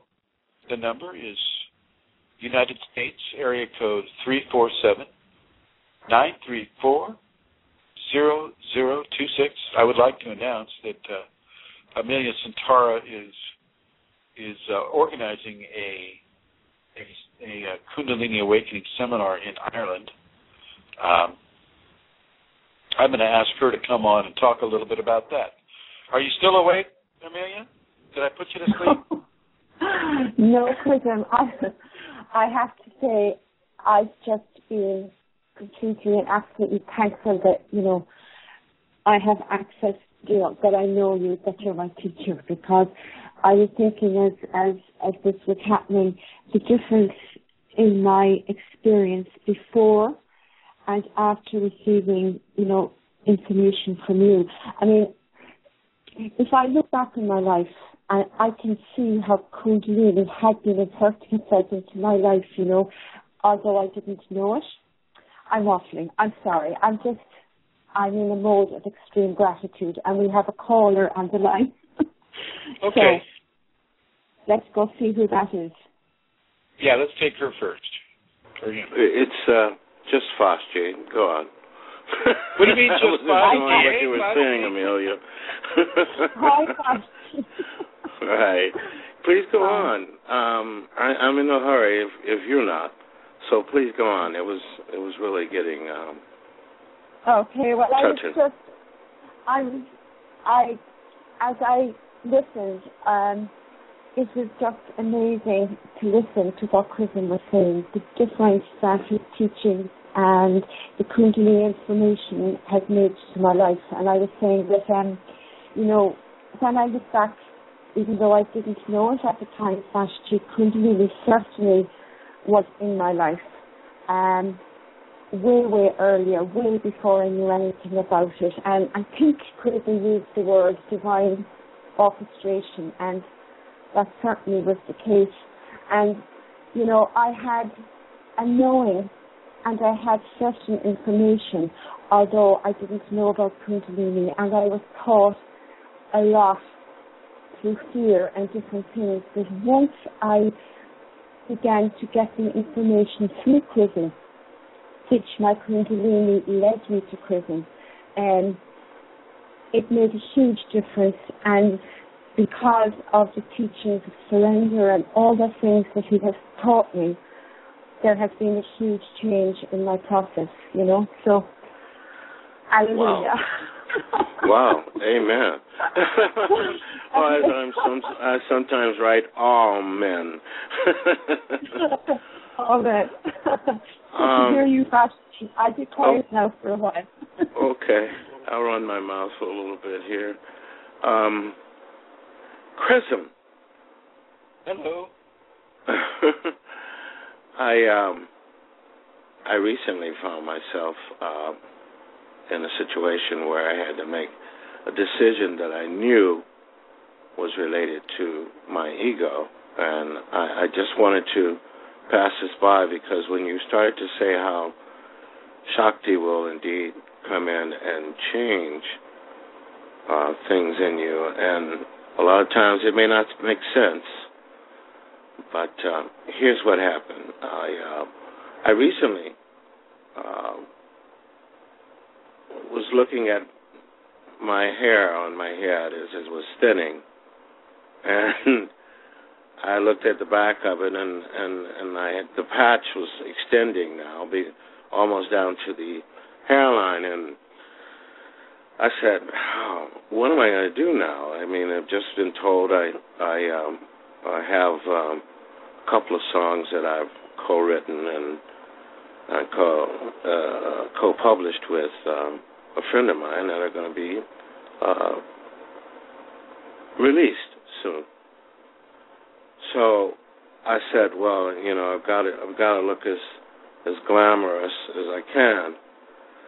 And I looked at the hair and I heard this subtle voice say, "Get rid of it." And I said, "Do what?" That's that's what my Kundalini's been telling me while you've been saying this. Get rid of it. And so David, David, go I, bald. I, it's already done. it's already done that was the right choice.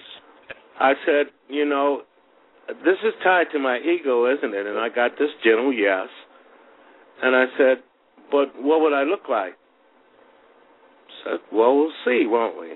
And so I I went in and sat down at in, in the chair, and the first person that was ready, um, I said, okay, I'd like a haircut, and they said, how much? And I said, all of it.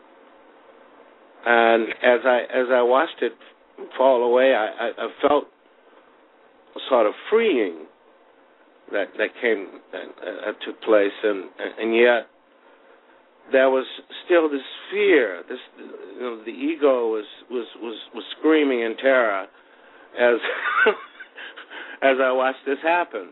But there was a calmness that that descended over me, and I um I did it. Um, I still don't know who I'm looking at in the mirror, but um, you're looking at you're looking at you know. Uh the new person that you've become. You're looking at the Kundalini Vash. I, I just wanted to, I, you know, is this is this the type of thing? And I, I'm not suggesting this for anyone else, but this is just something that I. It was it was an attachment of my ego, and it had to go, and I was I was willing, out of surrender to. Well, I want to, honor you, uh, Vashti. I want to honor you and congratulate you for following that uh, intuitive guidance. Well, thank you. Thank you very much, Master C. Uh, I'll get off now so someone else can talk. Well, thank you for calling, Fuzzy. Thank you very much. It's always a pleasure. Thank you. And thank you, Amelia. You're, you're welcome, Vashti. Good hearing you. So I Hello? wonder if uh, if if Adam or uh, Bruno uh, can relate to uh, Vashti's uh, hair haircut options. Well, I can slightly relate to it, Chrism, because I'm no longer colouring my hair. Oh, that's fine. Yeah, I mean, you got the but you got the instruction. No more chemicals on the hair, and and that's, That's uh, right. pretty strong instruction. yeah, I'm watching the grey and slowly but surely move out into the blonde. uh, so it's interesting in the same way that, you know, And it's not to say that wearing makeup or anything like that is wrong. It's not. yeah, It's absolutely not. But for certain things that we don't understand, the Kundalini will ask a person to change their their look or their attire or their whatever it is they're doing to their body. They may ask for a change. The Kundalini will say, "Hey, you know, uh, back off of the, uh, you know, the, the the super stripping shampoo. You know, let's give your hair a chance to to to be to be nurtured, to be helped. So yeah, yeah, and I'm glad you're not uh, coloring the hair anymore. And you know, I've stopped uh, coloring my hair too. So well, will I say a little about about the seminar? please do. Okay. Well, I suppose to say first of all that Chrism is a guest in Europe during the month of the month of October, and um, I asked him if he would um, do a seminar, and he said yes. And the reason that I would like to organise a seminar is because I suppose I know personally the blessings of meeting, you know, with our Kundalini teacher and with meeting other Kundalini people, and so. I'm aware that it's a very short notice, but I would be delighted to organise a seminar in Dublin if there are, you know, members or people listening who would be interested and able to come. Um, Give them the dates. Well, it's the 19th and the 20th of October. That's a Saturday and a Sunday. Um, yeah. And and flights from the UK and from other European countries with Ryanair and with don't know if EasyJet can, but they can be very good value. So um, if anybody wants to contact me about it, contact me on the email address which is kundalinimatters at gmail.com. I'm aware that some people, um, you know, would like to come, but it might be too short notice for them to make arrangements at this time. So, um, but it's good to know anyway that people are interested in coming to another seminar. But really, if anybody would like to come, the 19th and the 20th of October is when I'm, I'm going to plan to have it. So, that's it. Thank really, you. Amelia. So the 19th, the 19th and 20th of October, 2013, um, in Dublin, Ireland. Uh, please contact uh, Amelia Santara at kundalinimatters at gmail.com. Is that right, Amelia? That's, that's it, cousin, yes. Okay, very good, very good. And I would like to meet anybody who would like to to meet, or anybody that has, uh, say, an issue with their kundalini, or they feel that they might need a, uh, uh, you know, my touch to help with their with their uh, experience. So please feel free to give Amelia Santara a call at kundalinimatters at gmail.com. And, and uh, yeah, so I I encourage uh, uh, everybody in the UK to come. Um, everybody. Uh, I, I know that you've got kids, and I know that you've got jobs, and I know that you've got responsibilities. And yet, I also know that I don't come to Europe very often, and I'm, you know, I don't know when I'll ever make it back. And so, if you're able to come and visit, then come and visit, and uh, let's get you on your Kundalini path. I'm going to go ahead and terminate uh, this conversation about your Kundalini awakening experience with Chrism. And I want to thank you for listening in the archives. I want to thank you for listening live. I would like to thank once again Amelia Santara and Lauren and Vashti and everybody who called in and everybody who listened live, Bruno and and Kay Adam and all the different guest numbers. Thank you all. Thank you all for, for your attention. Bye bye. The FMS are, are Kundalini uh, related. Emotional outbursts, rapid mood shifts, seemingly unprovoked or excessive episodes of grief, fear, rage, or des- depression, and desperation. Spontaneous vocalizations, including laughing and weeping, or, you know, talking on a radio program, are as unintentional and uncontrollable as hiccups. yeah, vocal vocal kriyas. Hearing an inner sound or sounds uh, classically described as flute, drum, waterfall, birds singing, bees buzzing, but which may also sound like roaring, whooshing, and thunderous noises, or like ringing in the ears. Mental confusion, difficulty concentrating, altered states of consciousness, heightened awareness, spontaneous trance states, mystical experiences. If the body's prior belief system is too threatened by these, they can lead to bouts of psychosis or self-grandiosity. Heat, strange activity, of blissful sensations in the head, particularly in the crown area. Ecstasy, bliss, and intervals. Tremendous joy, love, peace, and compassion. Psychic experiences, extrasensory perception, out of body experiences, past life memories, astral travel, direct awareness of auras and chakras, contact with spirit guides through inner voices, dreams, or visions, healing powers.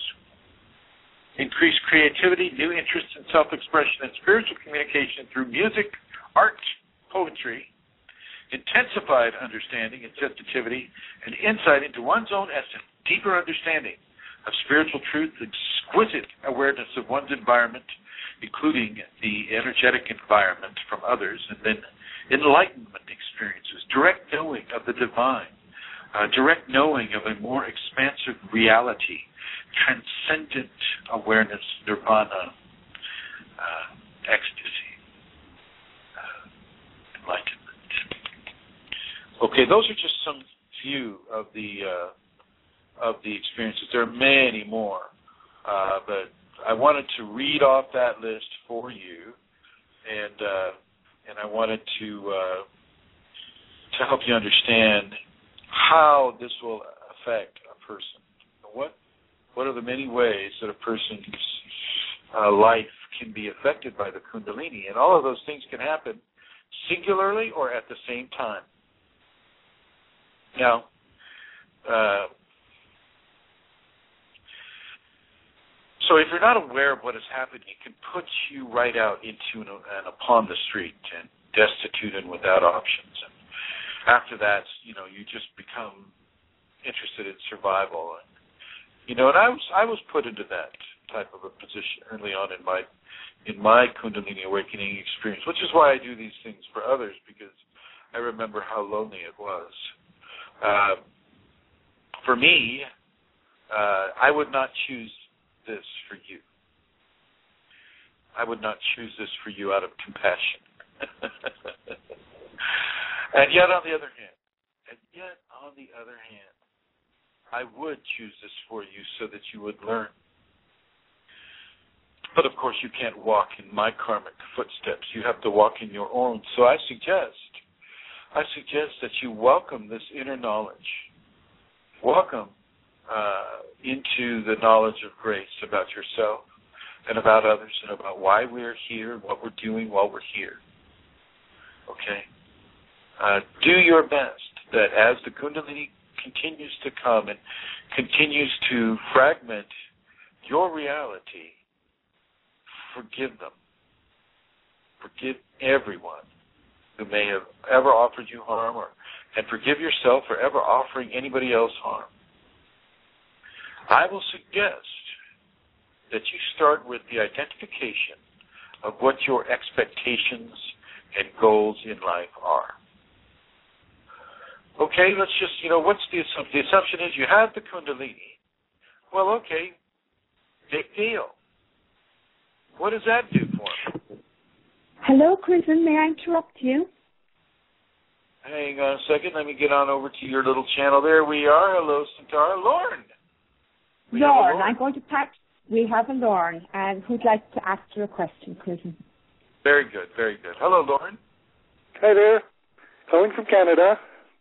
Big Hi, time Lauren, fan of yours. welcome. Big time fan of yours. You've really been helping me through my process. Really much appreciate Well- all the resources and the effort you put in. Uh, It's, it's just just amazing. Well, thank Um, you, thank you, Lauren, and, and and and many thanks to Amelia Santara and her family for for making this available. Oh yes, this no. I mean, I've been going through all the old blogs, and first time I've had a chance to to do some live stuff with you. Um, I posed something uh, on a, one of the uh, chat rooms a while back uh, when you're talking about radiance, and I, I want to kind of follow up a little bit with it. I, I had my first sweep about a year ago, and the energy has been building and building. I haven't experienced any of the wonderful phenomena such as uh, entities and OBEs and fun stuff like that, but I certainly have a lot of a lot of what was on the list you just went through on the other thing. Luckily, nothing on the downside of emotional outbursts and things like this. But uh, but what I've been experiencing is the really really strong vortexes, which all seem to be uh, coming out of all the uh, the chakras. It seems like you know the chakras are just building up, and I just feel these strong vortexes swirling around, and they seem to be getting Well, bigger well, and bigger. And I'm Lauren. I'm really wondering if uh, um, you could comment on how that process kind of builds, and you know where does sure. it kind of lead to? It's interesting that you asked me that question. Uh, you know, before a show, like a couple hours before a show, I'll just be going, "Well, geez, I wonder what I'm going to talk about today." You know, and I have no idea what I'm going to talk about. You know, right up to the point. And uh, so, one of the thoughts that came to me was exactly what your what your question is about, Lawrence. So, thank you. So, I, I guess that oh, was thank just. you. Uh, That's good. Thank you for sitting at work. so yes, okay. So he's asking. This is about energy, uh, uh, energetic anatomy dynamics. So basically, when the uh, kundalini is coming up the spine, and I'm just going to assume that things are going from a bottom to top uh, direction. yes. Uh, what will happen is, is, is Lauren Lauren describes them as a as a uh, vortex, and and they are they are each chakra is its own vortex. It's a it's a vortex of energy that has movement, and that movement uh, goes in more than one direction. But from a linear standpoint, we'll say, well, okay, it's moving to the right or spinning to the right. Uh, when the Kundalini comes into these chakras, it greatly, greatly intensifies and amplifies the energy in the chakras. And you got to remember, if you're looking at a seven chakra model, uh, the chakras are placed right over major nerve plexi. That's P L E X I, and these these plexi, which is plural for plexus, these form a plexus of energetic uh, interaction above each of the neural uh, plexi along the spine. So you have the the seven neural plexi that are along the spine from the top of the head to the to the base of the uh, tailbone. And these neural plexi are now having a new energy, well, new to us, shall we say, new to the to the ego consciousness. A new energy infuse it. The body itself knows exactly what to do with Kundalini. The body doesn't need any help from the person's ego. It knows exactly what to do. It's just that the ego has its hands in our emotional body, in our mental body, in our psychological body, and you know, and the spiritual body and the physical body just kind of have to deal with that a lot because you know, ego is what you know pushes kind of a fear mentality sometimes. And uh, but as as the kundalini is infused into the vortex, as Lauren was saying, of the chakra, uh, with you know with energy dynamics, the more energy, the more of a vortex you have, a greater expansion, and that there are also uh, stages within the enlightenment of a chakra where uh, certain levels of stimulation will initiate one kind of response, and then a further level of stimulation will will uh, bring about a a different response. So if your chakra is spinning at like say three to four RPMs per minute, of course. so yeah, we'll use a, car mechanic uh, uh, analogies here. So if your first chakra is spinning at uh, 3,000 RPM, and the Kundalini kicks in it, and now you're now the first chakra is spinning at 130,000 RPM. Well, you know, you definitely know because of its effect upon that vortex, which is sitting right above the neural systems, you know, within the human body. Uh, you know through your nerves and through the effect of the nerves upon. Blog Talk Radio. Hello, everyone. This is Chris Um, and I'd like to welcome you to a conversation about your Kundalini awakening experience. Um, but before we get into that conversation, I would like to to say thank you to Amelia Santara and her family in uh, County Kerry, Ireland. And I want to thank them for their sponsorship and for bringing this information to you. So if this has helped you in any way, well, it's because of them.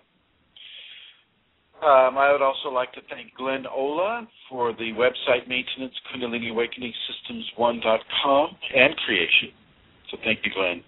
Uh, Barbara Berry for her uh, uh, help and assistance with the uh, the uh, the ashram here, and I'd also like to thank uh, Eileen Lauro for her many gifts and contributions, and Barbara Oldman, not Barbara Nauman, but Barbara Oldman for her contribution with regards to the telephone and and sending me a track phone and, and things of that nature. So I want to thank everybody uh, who has made their contributions uh, to uh, to this cause, and we will continue to uh, produce these these uh, these radio talks, but also the with the videos. We'll continue with the videos as well. You can reach this communicate or this information uh, through the website that I just mentioned, www.kundalini, K-U-N-D-A-L-I-N-I, awakening, A-W-A-K-E-N-I-N-G, systems, S-Y-S-T-E-M-S, the number one, dot com. Uh, you're going to hear other phones ringing that I'm not going to answer. You're, you should be hearing one right now. And because we have some, we have a, a kind of a, uh, of an animal rescue center here. Uh, you may hear the birds explode in their in their uh, communications, and the dogs may join in, and yes, just one big happy zoo family here. So anyway, uh, I would like to welcome uh, Amelia Santara to the show. Uh, hello, Amelia. Hello, cousin. It's good to be here today. Um, I'm just just to say that I'm back in Ireland after my little adventure on holidays with my family. So hello to everybody listening live and to everybody listening on the archives. And maybe as I do each week, I'll take this opportunity now to give you the web address that you can go to if you want to make a donation to support Chrism in supporting and teaching people who are within a Kundalini awakening process. And this sacred work is Chrism's full-time, 24-7 job. And so he depends totally on donations and he receives all contributions with love and gratitude. And please remember, there's no pressure, no expectation for you to give. But if you can and wish to, then this is the address to go to. It's www.ascension-kundalini.blogspot.com com. That's www.ascension hyphen K-U-N-D-A-L-I-N-I dot com. And you will see the donate button in the upper right hand corner. So again, Chrism, I'm looking forward to this Kundalini Satsang and it's good to be here and I'll man the phones. So anybody who would like to call in and, you know, ask Chrism a question about any aspect of a Kundalini awakening can ring this number. It's an American number, USA, 347 934 0026, and we'd love to hear from you. Thanks, Chrism. Thank you, Amelia. Thank you. Uh, and as always, it is a blessing and, and a joy to have you uh, sponsoring this show and to be on the show. Uh, nice to hear that you returned from your your holidays in Spain successfully. And I'd like to say hello uh, to to Bruno Amadori and uh, guest number 2712. And I'd like to say hello to Adam. Hello, Adam. And uh, so we'll begin this this uh, this conversation. Uh, this is called a satsang because it is once again, as I discussed the last two times, uh, it's a satsang because we are together in truth. We sit together in truth, and it is in truth that we discuss the various uh, different levels of phenomena and experience that a person can have within the Kundalini awakening uh, experiences. And with that, with that in mind, uh, today, today, I would like to discuss uh, uh Kundalini fragmentation. And I just want to say that that often, though not always, uh, the Kundalini activation will be accompanied by an intense fragmenting of the current life experience. This can this can increase exponentially as the process continues, and if it's resisted, it can become quite challenging and, and very hurtful uh, if you resist it. In these areas, it is most important to understand what is happening, which is which is why uh, I'm doing these communications here on Blog Talk Radio, but also on the uh, YouTube. Uh, people need to have this information. With information, uh, you have power over your ego within the Kundalini awakening experience. What I mean by that is that uh, when you're confronted with something that is new and strange and, and you don't understand, it's typically processed through the channel of fear. It becomes very frightening, and and in order to protect ourselves, we put up all these blockages to keep what we perceive as being out there trying to get us uh, in a negative light. Uh, and I'm going to suggest that with Kundalini, because yes, indeed, it is a new and extremely strange situation that a person will experience. Uh, you need not fear it. Need not fear it. Uh, it's more about how you respond to these uh, phenomena than the phenomena themselves at first. Uh, it's more about what, okay, how is this person responding to this this phenomena of uh, broadband telepathy or the phenomena of narrowband telepathy or, you know, waking up in yoga positions or you know, all the different uh, paranormal events that can come with a Kundalini awakening. How is this person handling it?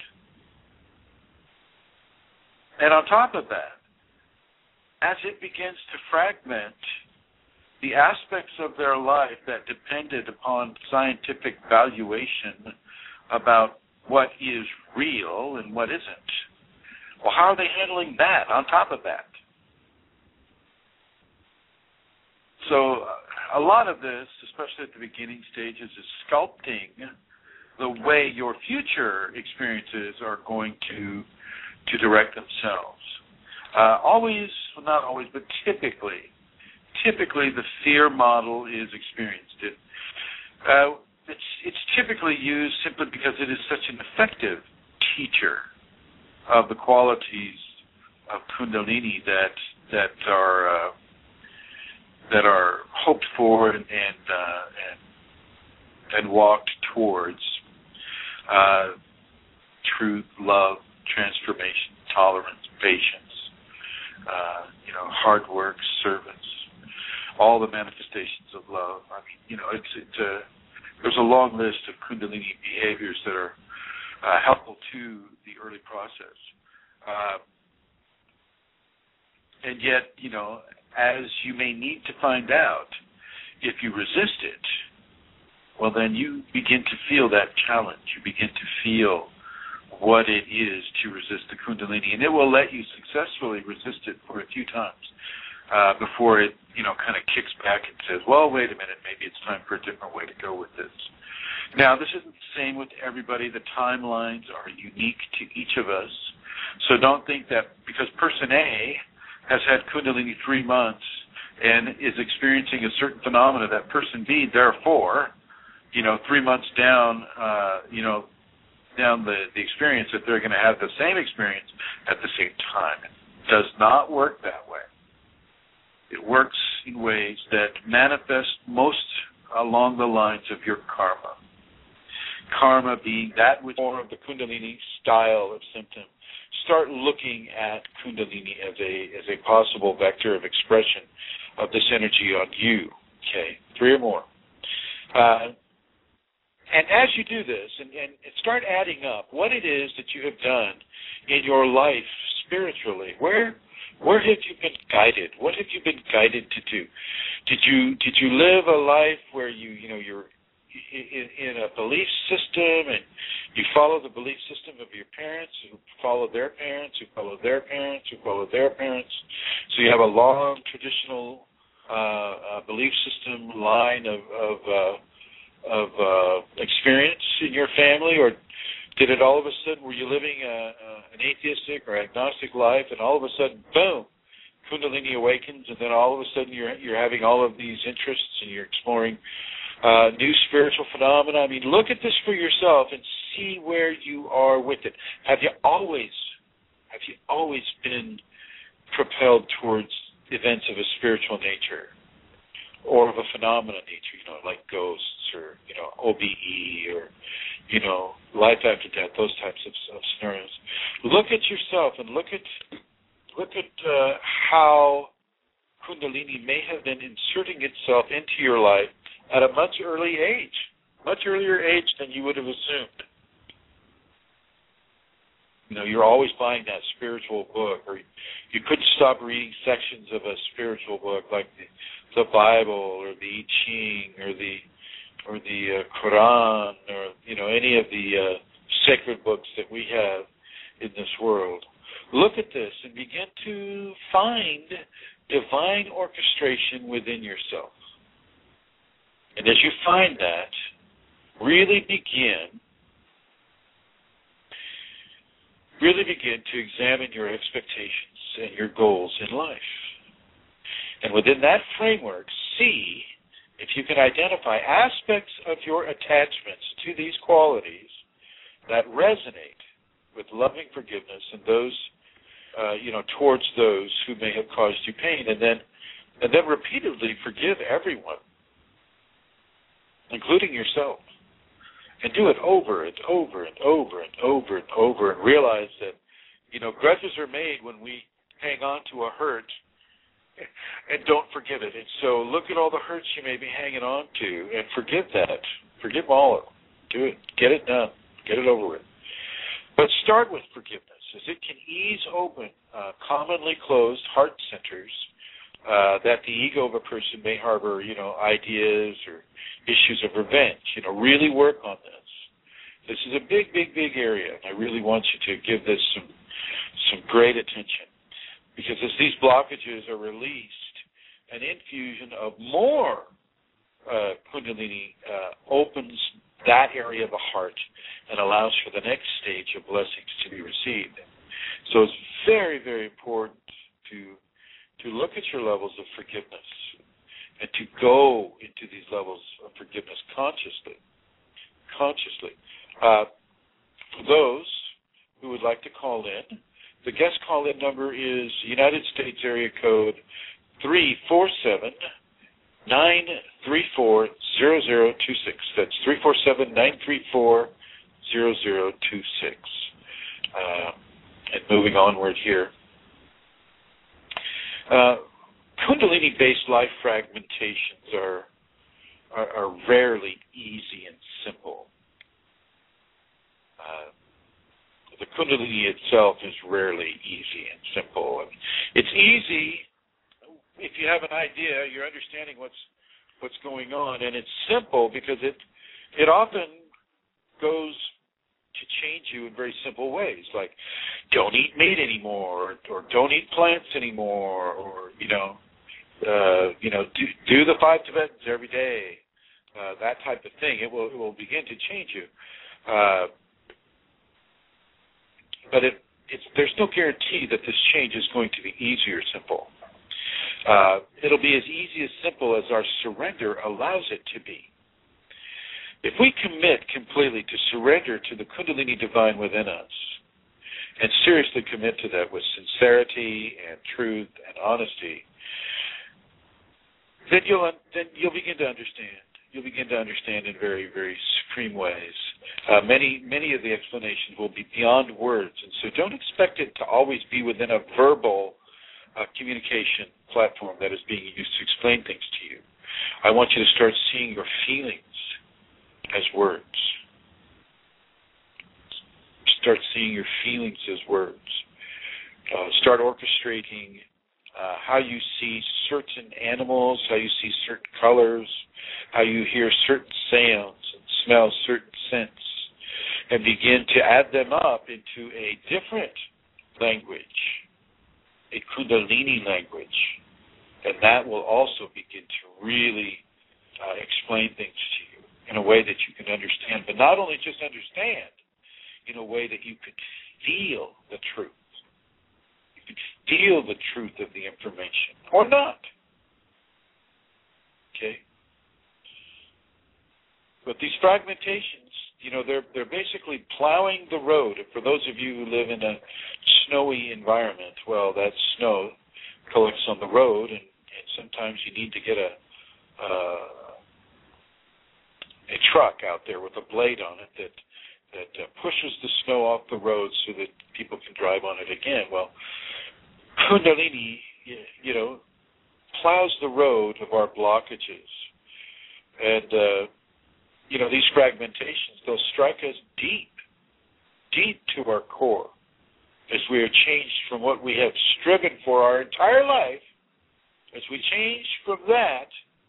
Uh, and we are, you know, immediately thrust into an unknown and, and untested environment, spinning around, not knowing which way to turn, and because now we've lost our confidence, we've lost our trust, and our personal validation is removed, and we don't know where to go. We lose our direction. Okay? These fragmentations can cause this type of thing to occur. And I'm going to suggest that you turn your expression towards love and surrender to this divine force within. Seriously do that. Don't fight it. Don't allow your ego to express itself in a way that is that is not uh, representative of your current evolutionary status. That status is being tested, but it's still a status where you, you don't need to jump into fear anymore. You know, you turn your expression towards love and surrender to the divine force within. This can save you years, if not decades, of refinement. Okay? By opening to these strong levels of refinement through knowledge and the invitation for this that the Kundalini grants us, your life will be much gentler for this choice. So you could choose to go with this flow, or you could fight it with ever increasing levels of desperation. And a wise person will move with this river of energy and not resist its strength, but rather make that strength their own. Flow with the river, and you become the river. And you become that strength of the river. So as you embrace this transformation, and you allow yourself to be changed, uh, your Kundalini fragmentation will happen for this very purpose. And as we are crumbled into the dust of, of what we once were, you know, so forcefully, uh, so are we also risen into that which we are becoming. The old will give way to the new, and even then, will our expressive dimensions expand to hold that which was and that which is at the same time. We are becoming conscious, multidimensional humanity. Okay? Once again, the number to call in for any of your Kundalini questions uh, is uh, United States area code 347 934 0026.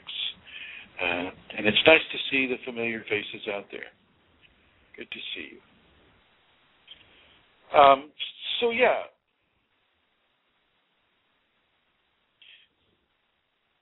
You know, we are becoming conscious multidimensional humanity. But here, here is something that I want you to consider. Great is this gift, but only for those who choose to receive will they be able to stand amidst their own ruin to grasp it. Think about that phrase on the body that something new and different has taken place, and and uh, this realization will only increase as as the the spinal sweep moves up the uh, the spinal column going through each of the seven, if you follow the Sanskrit model, each of the seven uh, uh, neural plexi centers, or you know, spinning wheels, as they're called, chakras in the Sanskrit. Uh, so, Kundalini is often seen as an amplif- amplifying force.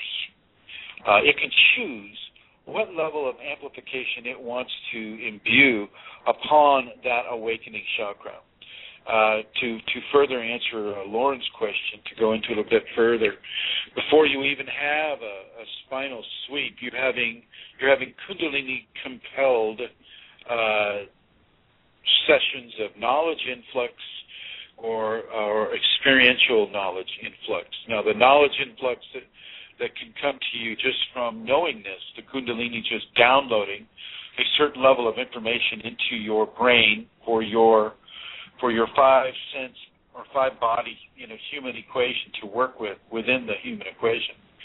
Uh, with the Kundalini, uh, you know, it's, it's it's it's quite strong, and so the the expansion, the effect of the expansion can be very strong for a person, and it can indeed begin to fragment that person's reality matrix. And it's you know it's very important that we that we begin to to look at this fragmentation not as just uh, terrible, terrible. Oh my gosh, change, change, change, but as a as a positive thing, as a positive event. You know, I'm pretty sure the butterflies aren't going, oh shit, I have to grow wings. Damn it. so I would like I would like to uh, to take that attitude. Don't resist your wings. Don't resist your wings. Let your wings grow and nourish them and spread them wide. Uh, really, really allow that to happen and to continue with Lauren's uh, explanation. Lauren, the uh, the feelings associated with a with with Kundalini burst treatment of each chakra uh, can be quite large. But uh, you know, as I look at you, Lauren, the uh, the Kundalini also uh, applies certain levels of filtration so that you still are able to walk around the house, drive the car, uh, you know, do the things that you need to do in order to live your life. Have you found that to be true? Yes, every once in a while I've got to just, you know, it kind of comes to me in terms of what you were describing before, the burst, and uh, I've got to kind of lie down and diffuse that, or if I get really fatigued, it'll burst in me again. It's sort of like go lie down and then work me over. yeah, yeah, yeah. So, exactly right. But but it, it does at the right times. It doesn't really impart. If I, I've got situations where I've, as you say, done driving, and it, it doesn't. It does it at the right times. It, it gives me a break. Well, I think yeah. I mean, I mean, as I've said so many times, you know, it knows us better than we know ourselves, and uh, so it knows when to inject that that little, you know, extra attention to say the third chakra or wherever for you. Uh, when that needs to take place. And you have to remember that with uh, uh, Lauren, are you familiar with the uh, the television show Stargate SG One? I used to watch it in the old days. Okay. Well, in the Stargate SG One model, they have the Stargate, and they have to have seven addresses for the Stargate to work, right? Oh, I, I didn't even pick up on that. I haven't watched it for a while. That's cool. Yeah. So every planet has a different uh, address of seven, correct? Mm-hmm, mm-hmm. And, and the possibilities are into the billions. I mean, the mathematical variations can go into the billions. Uh, so, so I'm told.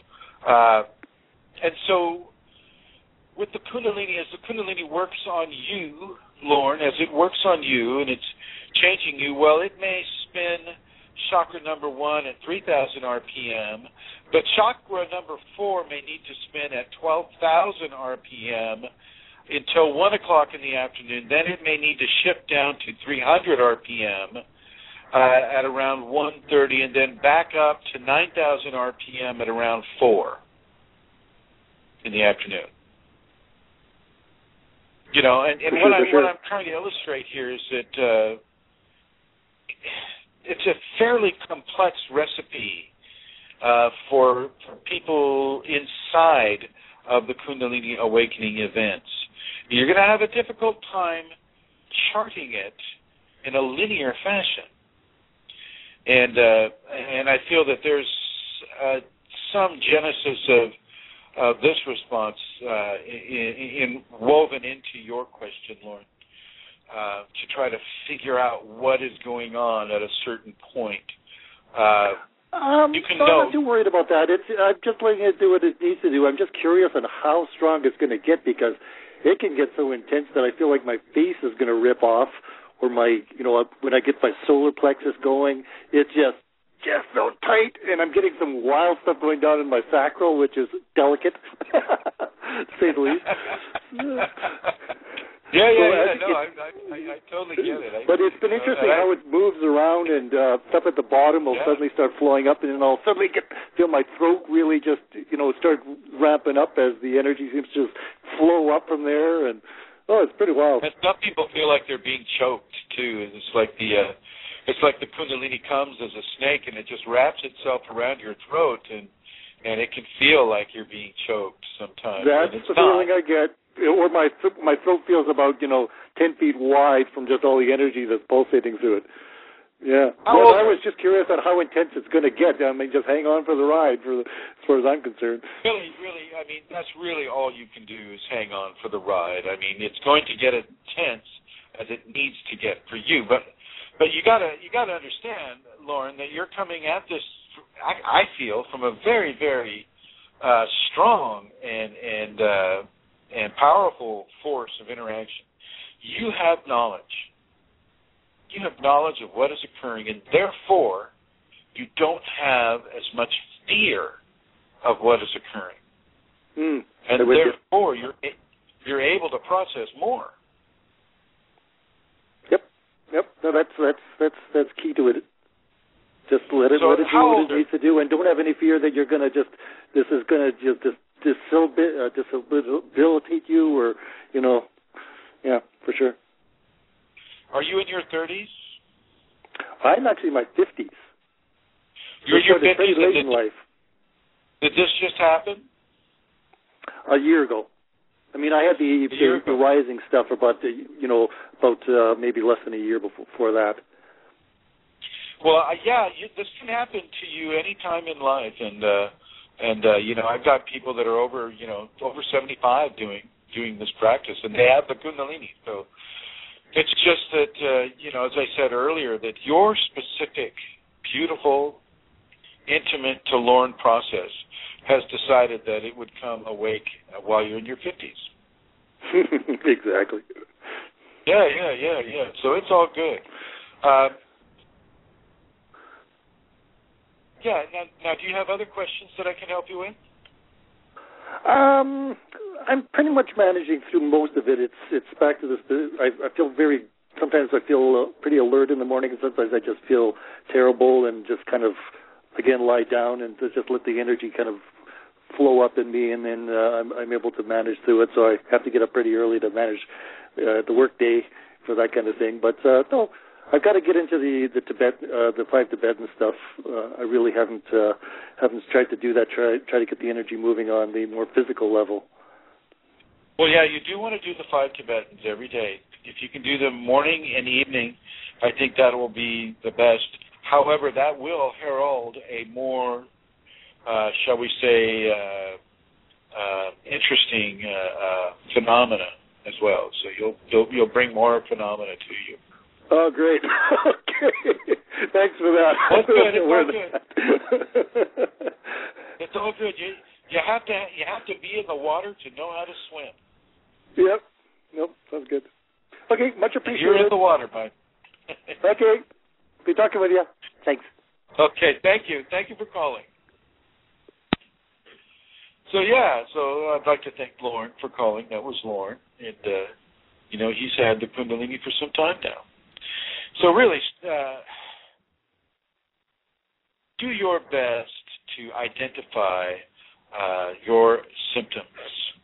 And you know, if you have three or more, which has been done before, is coming back now to, for balance, and that includes actions, complete actions. Uh, man uh, helps child across street. Child is therefore not killed by an automobile across the street. Man has just accrued some positive karma with regards to walking a child across the street. So that type of thing is what I'm talking about. And these are trans existence. So because it, you know, it, is of a, of a TE nature, trans existence meaning that it follows lifetimes of, of, of, of learning. And uh, because of the the you know the, the gift of reincarnation and the fact of reincarnation, we are able to sort of witness a a spiritual evolution uh, along a linear concept, if we look at it in that, in that way. Um, so just to be clear, everybody is going to experience similar things at different times, possibly even similar times, but but uh, underscoring the the idea and the fact that this is a very unique process. This is this is unique, and yet there are there are aspects of it that are shared. There are aspects of it that are shared. So you and your brother can have Kundalini. You know, he'll have it his way, you'll have it your way, but you'll both be having Kundalini.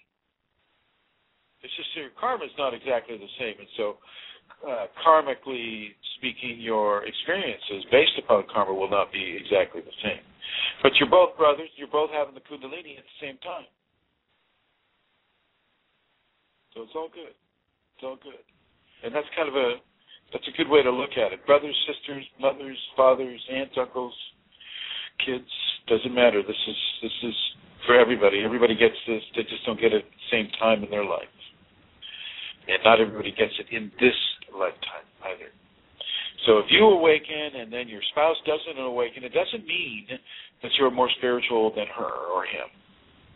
It doesn't mean that at all. It just means that, you know, this is your time and uh, maybe this is their time to take a very supportive role because you took the supportive role last time. We always strive to balance.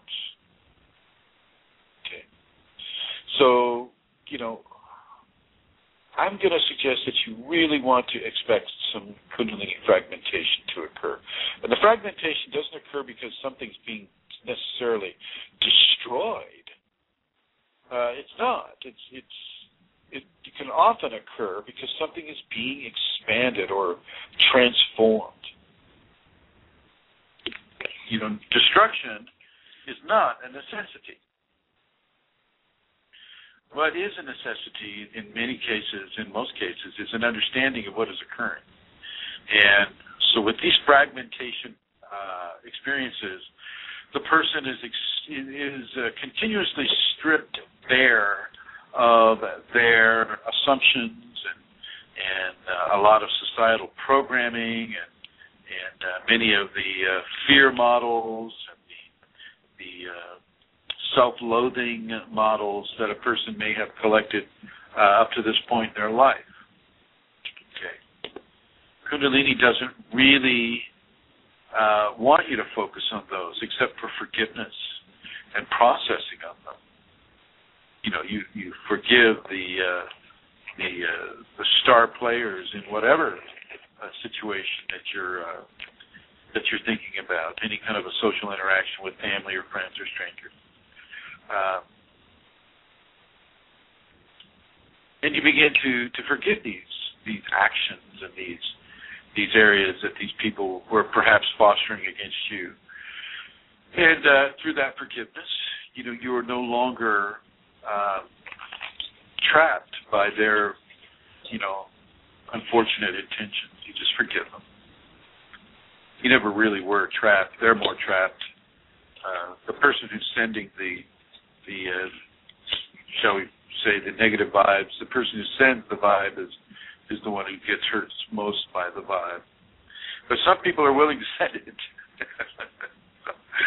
so uh, I just want you to be uh, positive in your in your trust and and and and have trust in the competency of your own kundalini to keep that which is not uh, appropriate to your life away from your life, and it will do that. It will do that. Uh, once again, I, I, I am being reminded to tell you: do not take advice for your kundalini from someone that does not have it awakened. Do not take advice for your Kundalini from someone that does not have it awakened, i.e., someone that does not have it authentically awakened within them. Okay? It's very important that you that you understand this. They may be wonderful people, helpful people, you know, people who are wanting to give you a service to help you in whatever way they can. But if they don't have the Kundalini, they cannot advise you with it. They have no reference point for it. So let's move forward into our little personal Kundalini fragmentation right here. We can be greatly aided by an understanding of what is occurring and why. So if you know that you know these phenomena that you're having are of the Kundalini, well then you know you know and from that knowledge a, a level of strength and freedom opens up for a person and this level of, of, of strength and freedom and, and uh, trust uh, really begins to, to be expanded upon by the Kundalini, and it allows you to to process more of the phenomena at a greater level because your trust and surrender to the process. Okay. Uh, but if this knowledge isn't available, well, then, if you don't have that information, uh, you can and many people do this, you can you know, begin to identify with an extreme downward spiral of events. You'll you'll misinterpret the the uh, fragmenting of certain lifestyles, certain behaviors, uh, certain uh, types of decision making. Uh, as you witness those fragmentations and you're you're identifying more with the extreme downward spiral of events, well, well then, you know that that can send you into a very deep and dark depression, and there's no need for that. There is no need for that. You know, if you've got three or more, or even you know, depending on what kind of phenomena, three or more of the of the shall we say major branches of Kundalini awakening phenomena. You have the uh, the energetics on the body, you know, where you feel the the waves of energy going up and down the body. You have uh, hot, cold uh, happen events happening right after each other, you know, back and forth, back and forth. Uh, maybe you're seeing entities. Maybe you're hearing voices telling you to do this or that. Uh, maybe you're seeing lights floating around your room. Uh, maybe you're having out of body experiences. Maybe you're having uh, uh, waking visions and you're seeing the tigers, the snakes, you're seeing the the wolves and the and uh, you know all the different kundalini animals Uh, there are plenty of places to go uh, to to check one. I have one here on the uh, uh, Kundalini Awakening Systems One uh, website, and you know it's kind of like a personal checklist. Uh, and uh, this was uh, uh, this was from El Collie's uh, Shared Transformations. Uh, she put together a nice list, I thought. And on the list, you have muscle twitches, cramps, or spasms, energy rushes, or immense electricity circulating the body. Um, you have itching, vibrating, prickling, tingling, tingling, or crawling sensations. And of course, you know, you look at what's crawling up your arm, and you don't see anything crawling up your arm, but you certainly feel it. Intense heat or cold is another phenomenon. Involuntary bodily movements occur more often during meditation, rest, or sleep. Jerking, tremors, shaking, feeling an inner force pushing one into postures or moving one's body in an unusual ways. Maybe misdiagnosed as epilepsy, epilepsy restless leg syndrome, or PLMD. Alternate alterations in eating and sleeping patterns can occur episodes of extreme hyperactivity or conversely overwhelming fatigue. Some CFS victims are experiencing Kundalini awakening. Intensified or diminished sexual desires out of the blue, all of a sudden. Headaches, pressures within the skull, and racing heartbeat, pains in the chest, digestive problems, numbness or pain in the limbs, particularly the left foot, leg, and the left toe, the left big toe. Pains and blockages anywhere, often in the back and neck, many cases